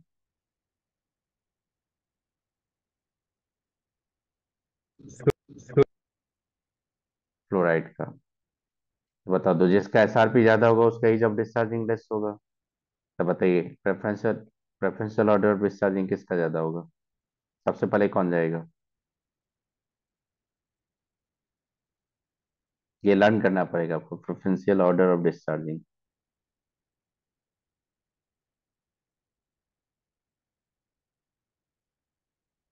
preferential order of discharging बताइए खुद से। सबसे पहले कौन जाएगा? आई माइनस जाएगा कि नहीं?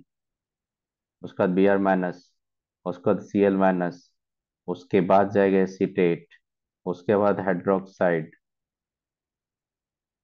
उसके बाद जाएगा आपका नाइट्रेट उसके बाद जाएगा सल्फेट और सबसे लास्ट में जाएगा फ्लोराइड बेटा आप खुद से सोचो अगर आपके पास आयोडाइड होगा हाइड्रोक्साइड होगा तो पहले कौन डिस्चार्ज होगा क्लोरी क्लोराइड या हाइड्रोक्साइड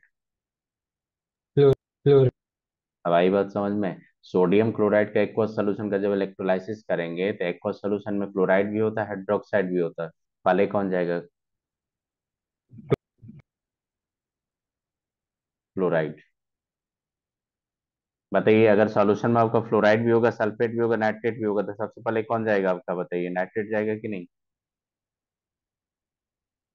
यस ऑर्डर ये ऑर्डर याद रखो ना इसी पे सारा काम कर लोगे आप। पूरा ये ऑर्डर याद रखो, पूरा एनाइन का सारा पार्टी काम कर लोगे। इसके भी साइड कोई एनाइन आपको देगा ही नहीं। नहीं देगा। आप कोई भी इलेक्ट्रोलाइट्स का जब इलेक्ट्रोलाइसिस करेंगे इन एक्वस सॉल्यूशन तो what should be your product at the anode that part can identify it easily if you know the order of discharging. तो बताइए hydroxide carboxylate chloride bromide iodide में सबसे पहले कौन डिस्चार्ज होगा? Iodide होगा कि नहीं? यस यस अब फ्लोराइड तो नहीं होगा। फ्लोराइड किसी का औकात नहीं कि उसको डिस्चार्ज करवा देगा। नहीं करता वो। किसी में इतना हिम्मत ही नहीं कि इसको डिस्चार्ज करेगा। ये तो कभी सोचना भी नहीं डिस्चार्जिंग के लिए। किसको? फ्लोराइड को। देखिए आप, एक एग्ज़ाम्पल बताते हैं, आपका देखिएगा।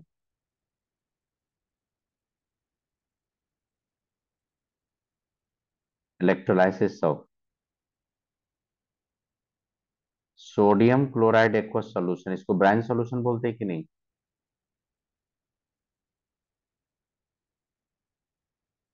प्लैटिनम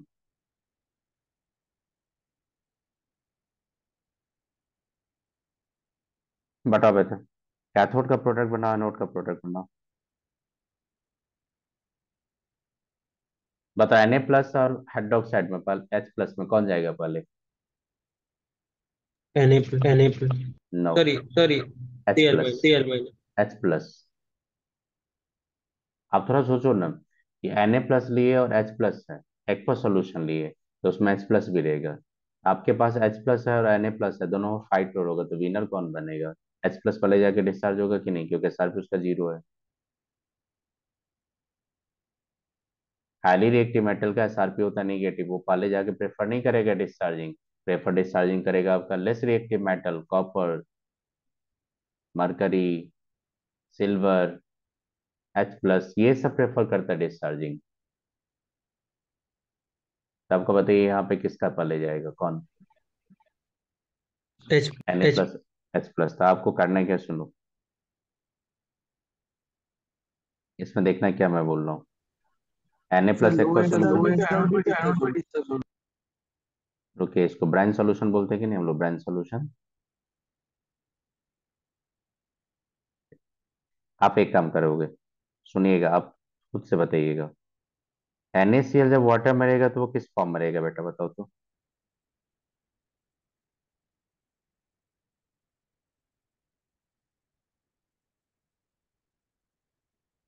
अब वाटर का सेल्फ आयनाइजेशन होता है कि नहीं?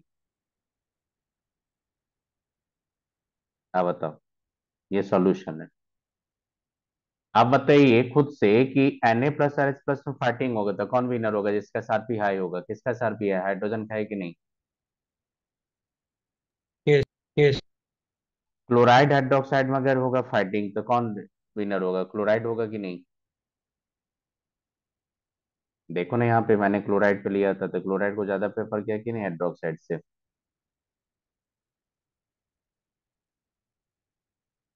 आपके पास हाइड्रोक्साइड वाटर से आप ब्रोमाइड या क्लोराइड आयोडाइड कुछ भी रहेंगे तो सबसे पहले कौन ज़्यादा प्रेफर करेगा आयोडाइड क्लोराइड ब्रोमाइड करेगा कि नहीं कंपेयर टू हाइड्रोक्साइड मैं तो ऑर्डर ऑफ़ डिस्चार्जिंग बोल ही दिया आपको। तो आप अगर ये लेंगे तो आप खुद से सोचिए यहाँ पे किसका डिस्चार्जिंग होगा? Na प्लस एच प्लस में एच प्लस का होगा Na प्लस नहीं जाएगा। क्लोराइड हाइड्रोक्साइड में कौन जाएगा?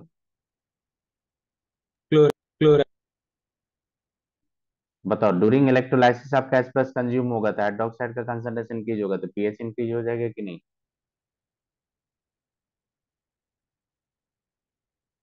ड्यूरिंग इलेक्ट्रोलाइसिस आपका एच प्लस तो आपका डिस्चार्ज हो जाएगा तो ओ एच माइनस था आपका सॉल्यूशन में कंसनट्रेशन बढ़ते जाएगा ओ एच माइनस का तो पीएच क्या हो जाएगा? इंक्रीज हो गया डिक्रीज हो जाएगा।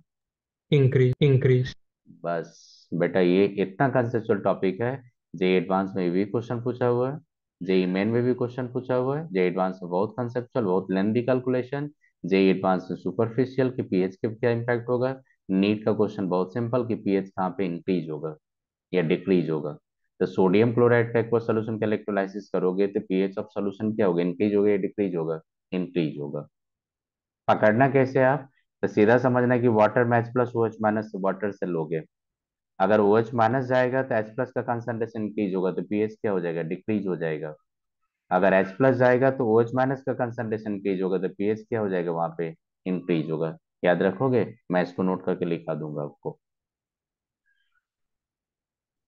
प्रोडक्ट क्या होगा? कुछ आइडेंटिफाई करो प्रोडक्ट क्या होगा यहाँ पे? थोड़ी सी एक दो लाइन एक दो लाइन नोट बोल दीजिए। नहीं नहीं कौन सा पार्ट ना क्लियर हुआ क्लियर हुआ आप बोल रहे थे देखिए सबसे पहले क्या हो जाएगा बताइए। एनोड पे कौन जाएगा ये पहले बताओ। एनोड पे कौन जाएगा ये पहले बता दो।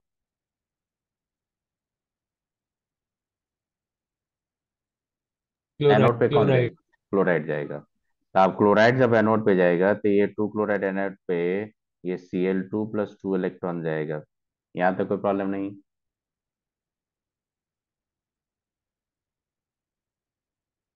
S R P hydroxide chloride में किसका ज़्यादा है?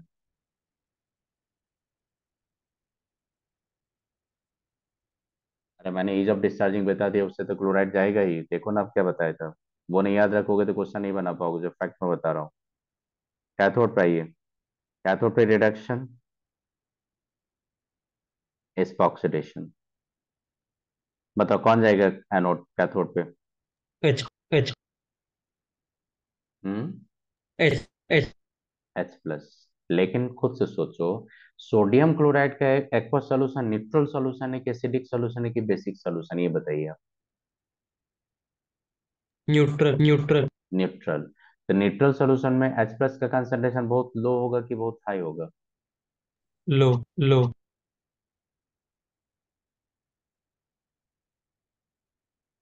तो water itself gets reduced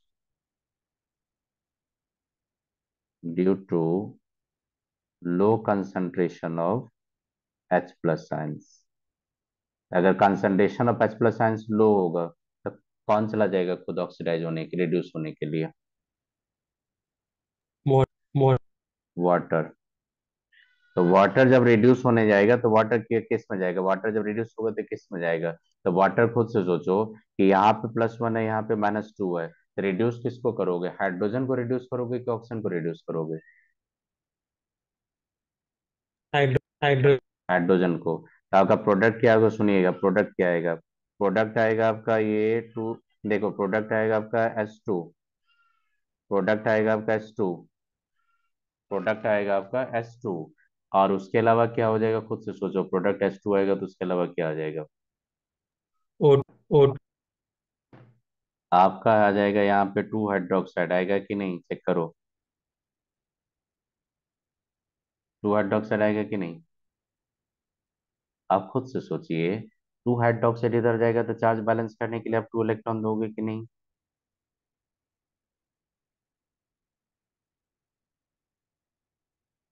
बेटा बहुत जगह देखोगे ना बुक्स में या बहुत जगह टीचर स्कूल में भी बोल देता है कि सोडियम क्लोराइड एक सोल्यूशन में एच प्लस को लेके चला जाता है कैथोड पे, जो कि एब्सोल्युटली रॉन्ग है।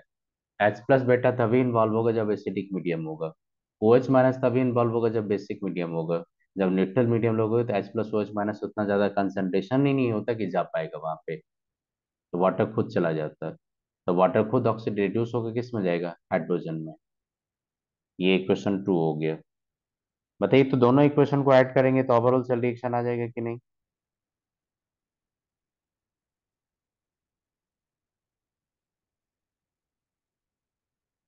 एस टू ओ ये liquid two S C L minus aqueous देखो क्या दे रहा है। C L two gas hydrogen gas बेटा बताओ तो। हाइड्रोक्साइड का कंसंट्रेशन इंक्रीज होगा या डिक्रीज होगा ड्यूरिंग इलेक्ट्रोलाइसिस इंक्रीज इंक्रीज तो पीएच क्या हो जाएगा? इंक्रीज आप खुद से देखो आपको कैथोड पे क्या मिल रहा एनोड पे क्या मिल? रहा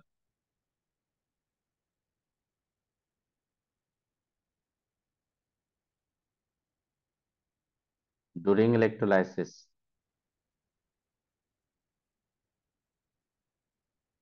concentration of hydroxide increase होगा। इसलिए पीएच क्या हो जाएगा? इंक्रीज हो जाएगा। देखिए तो रहा है कि कंसंट्रेशन हाइड्रोक्साइड इंक्रीज होते जाएगा तो पीएच आपका इंक्रीज होगा। कुछ आइडिया लगा या फिर से बता दूँ।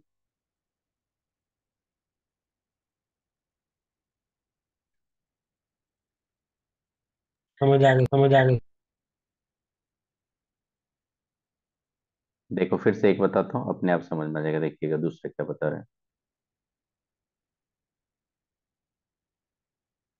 इलेक्ट्रोलाइसिस में दिखा रहा हूँ देख देखो किसका दिखा रहा हूँ।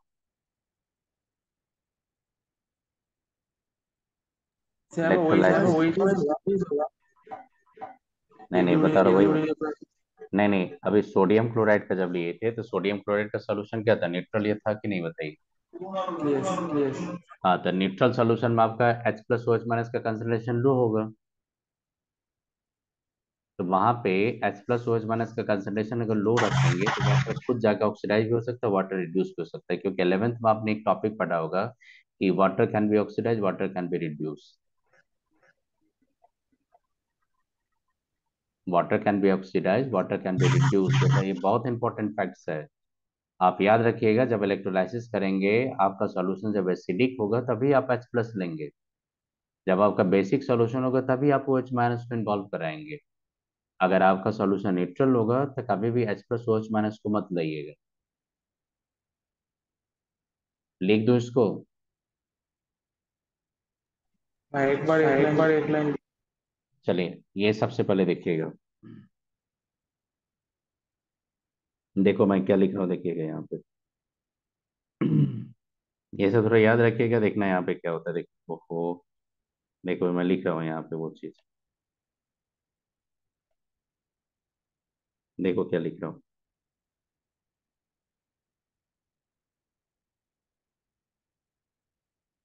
Neutral solution. Water. Itself. Gets oxidized or reduced. मतलब रिड्यूस ऑक्सीडाइज का बात होगा तो H प्लस को लेके आप H2 में नहीं जाएँगे ओ एच माइनस को लेके आप O2 में नहीं जाएँगे। मतलब वाटर से आप एस टू लेंगे वाटर से ओ टू लेंगे समझ में आई?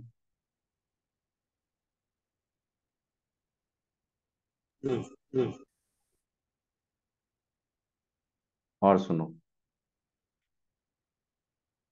अगर आपका एसिडिक सॉल्यूशन होगा तो उसमें एच प्लस कंसंट्रेशन क्या होगा? हाई होगा। आप हमेशा ही क्या देखिएगा देखो कैथोड पे क्या रिएक्शन दिखा होगा?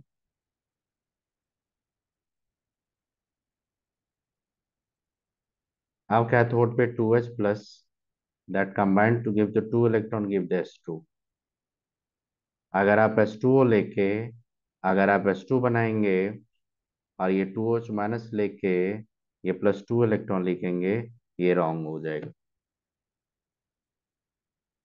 समझ में आई बात? मतलब H2 से हाइड्रोजन तब लाएँगे जब आपका concentration H plus very low acidic medium में ये काम करेंगे आप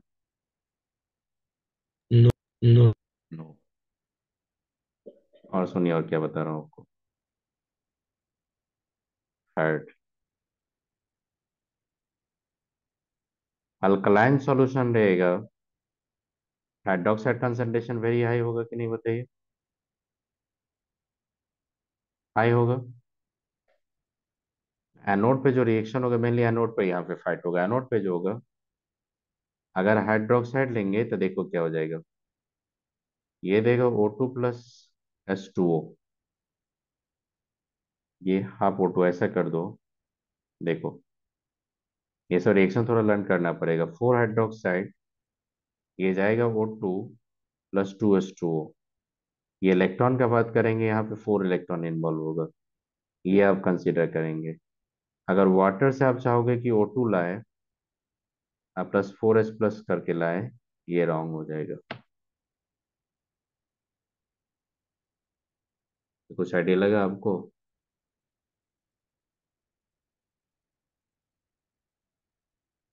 एसिडिक सॉल्यूशन में एच प्लस इन्वॉल्व होगा कि वाटर इन्वॉल्व होगा कैथोड पे? H H H plus alkaline solution रहेगा तो एनोड पे कौन इन्वॉल्व होगा? हाइड्रोक्साइड खुद आएगा कि वाटर आएगा? हाइड्रोक्साइड हाइड्रोक्साइड और न्यूट्रल सॉल्यूशन रहेगा तो कैथोड एनोड पे कौन जाएगा? हाइड्रोक्साइड जाएगा नहीं वाटर जाएगा। आइडिया लगा कुछ? देखो अब। अब एक और जो पढ़ा रहा हूँ उसमें देखिएगा। Electrolysis of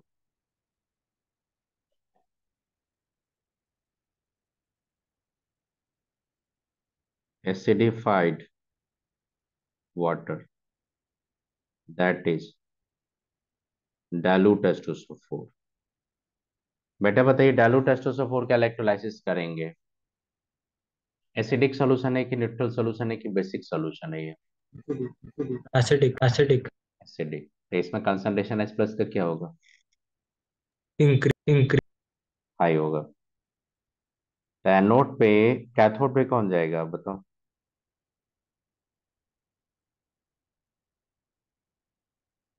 एच प्लस खुद जाएगा।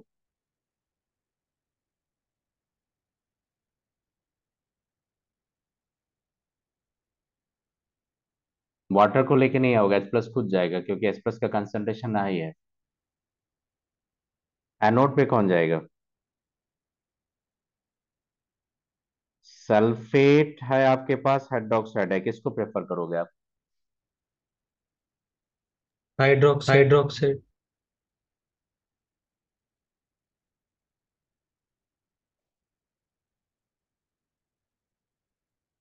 but water will prefer oxidation क्यों?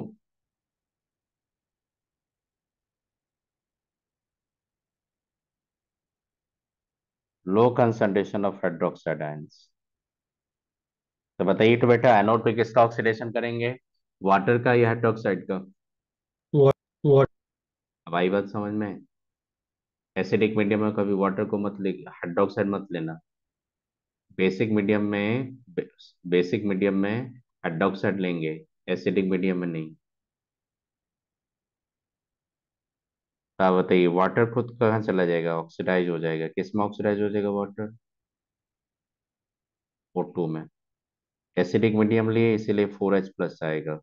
अब फोर एच प्लस आएगा तो यहाँ पे फोर इलेक्ट्रॉन भी आएगा। देखो ओवरऑल मैं रिएक्शन लिखूँगा। कितना मल्टीप्लाई करोगे? क्वेश्चन वन एंड टू को कितना से मल्टीप्लाई करोगे? वन को टू वन को टू से। इसको टू से इसको वन से। ओवरऑल बताइए तो क्या हो रहा है आपका? एच प्लस कैंसिल हो रहा है कि नहीं?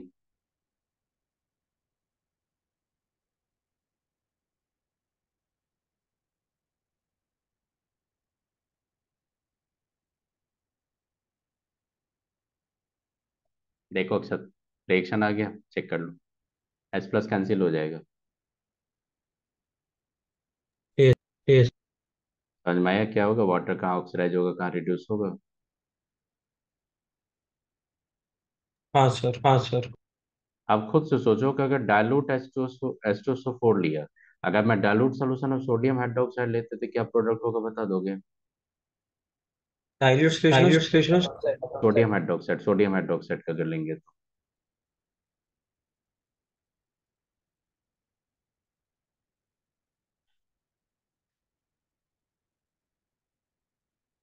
बताओ यहाँ पे जितना मोल यहाँ पे एच प्लस आपका कंज्यूम होगा उतना ही मोल एच प्लस यहाँ पे फॉर्म हो रहा है कि नहीं ओवरऑल रिएक्शन में। हाँ हाँ।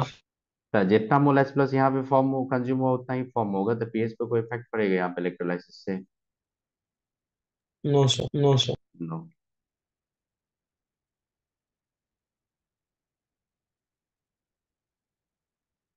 ऐसा में कौन सा इलेक्ट्रोड ले रहे हैं हम लोग?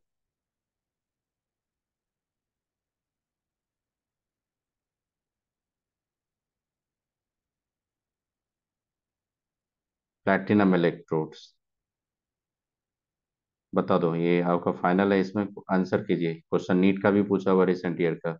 रिसेंट ईयर 2021 में पूछा था ये।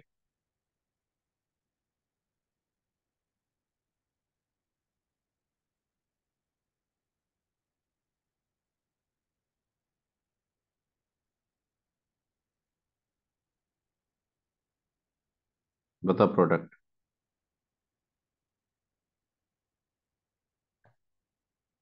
प्रोडक्ट बताओ कैथोड पे कौन होगा एनोड पे क्या होगा खुद से बताइए product. Copper plus one plus progress. में कौन जाएगा?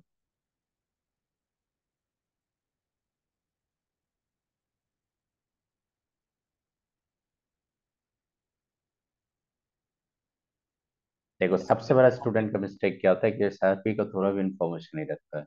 जबकि इलेक्ट्रोकेमिस्ट्री में इलेक्ट्रोकेमिकल सीरीज़ के रिस्पेक्ट में थोड़ा ये पता होना चाहिए कि कौन कौन सा मेटल का पॉजिटिव होता है। तो कॉपर सिल्वर गोल्ड मरकरी सबका पॉजिटिव होता है। फिर उसके बाद जिसका इलेक्ट्रोलाइसिस करने जा रहे हो, उसका एक्वा सोल्यूशन का नेचर क्या है? उसके बाद आइडेंटिफाई करते हैं हम लोग रिएक्शन क्या होगा।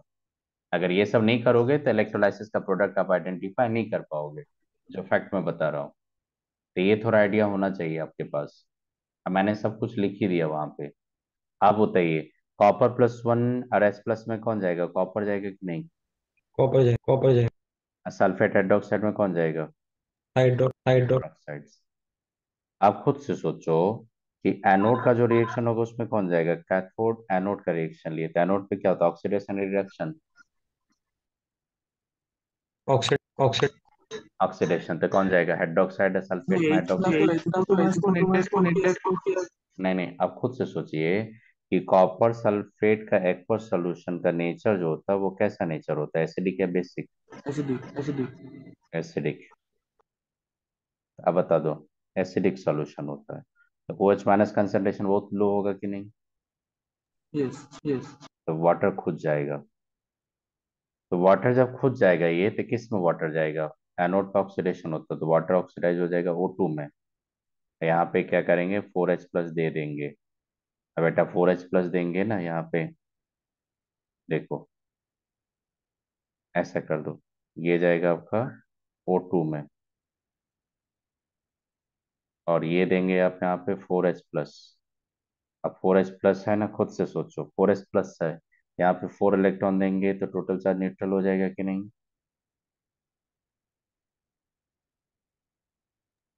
यस कैथोड पे बेटा कौन जाएगा?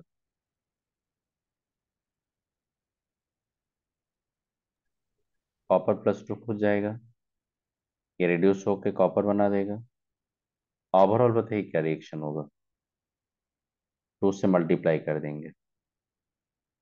Two S two O plus two C U plus two रखने का कोई मतलब ही नहीं होता। रहने दो कोई दिक्कत नहीं। है two S two O plus two C U two plus that give O2 plus Cu plus 4H plus बेटा बताओ डूलिंग इलेक्ट्रोलाइसिस आपका OH H प्लस का कंसंट्रेशन क्या होगा हम्म हम्म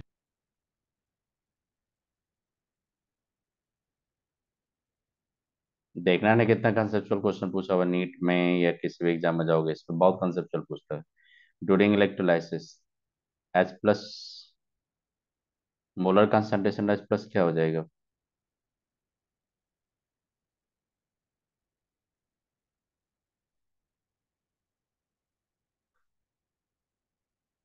इंक्रीज होगा। पीएच आपका क्या हो जाएगा? डिक्रीज तो बोलेगा कि ऑप्शन देगा। बोलेगा which one aqua solution of electrolyte on electrolysis या during electrolysis? pH near the electrode will increase या will decrease? तो will decrease करेगा तो कॉपर सल्फेट सबका नहीं ले लेंगे आप लोग। यस यस आप कुछ होमवर्क दे दो करके लाओगे आप लोग कुछ इलेक्ट्रोलाइसिस का?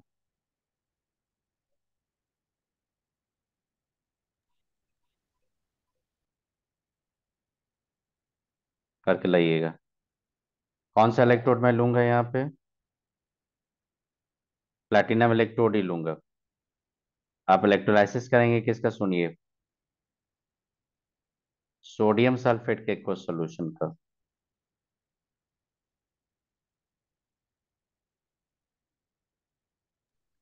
हमें quantities हुआ तो please हुआ तो please होना चाहिए please अब एच प्लस का कंसंट्रेशन इंक्रीज होगा तो माइनस लॉग एच प्लस लेंगे तो उसका वैल्यू डिक्रीज हो जाएगा पीएच ओके ओके अब बताइए पोटेशियम ब्रोमाइड लिए हर्ड सुनिए। सोडियम एसीटेट का इक्वल सोल्यूशन लिया मैंने सब इक्वल सोल्यूशन लिया मैंने सोडियम एसीटेट का।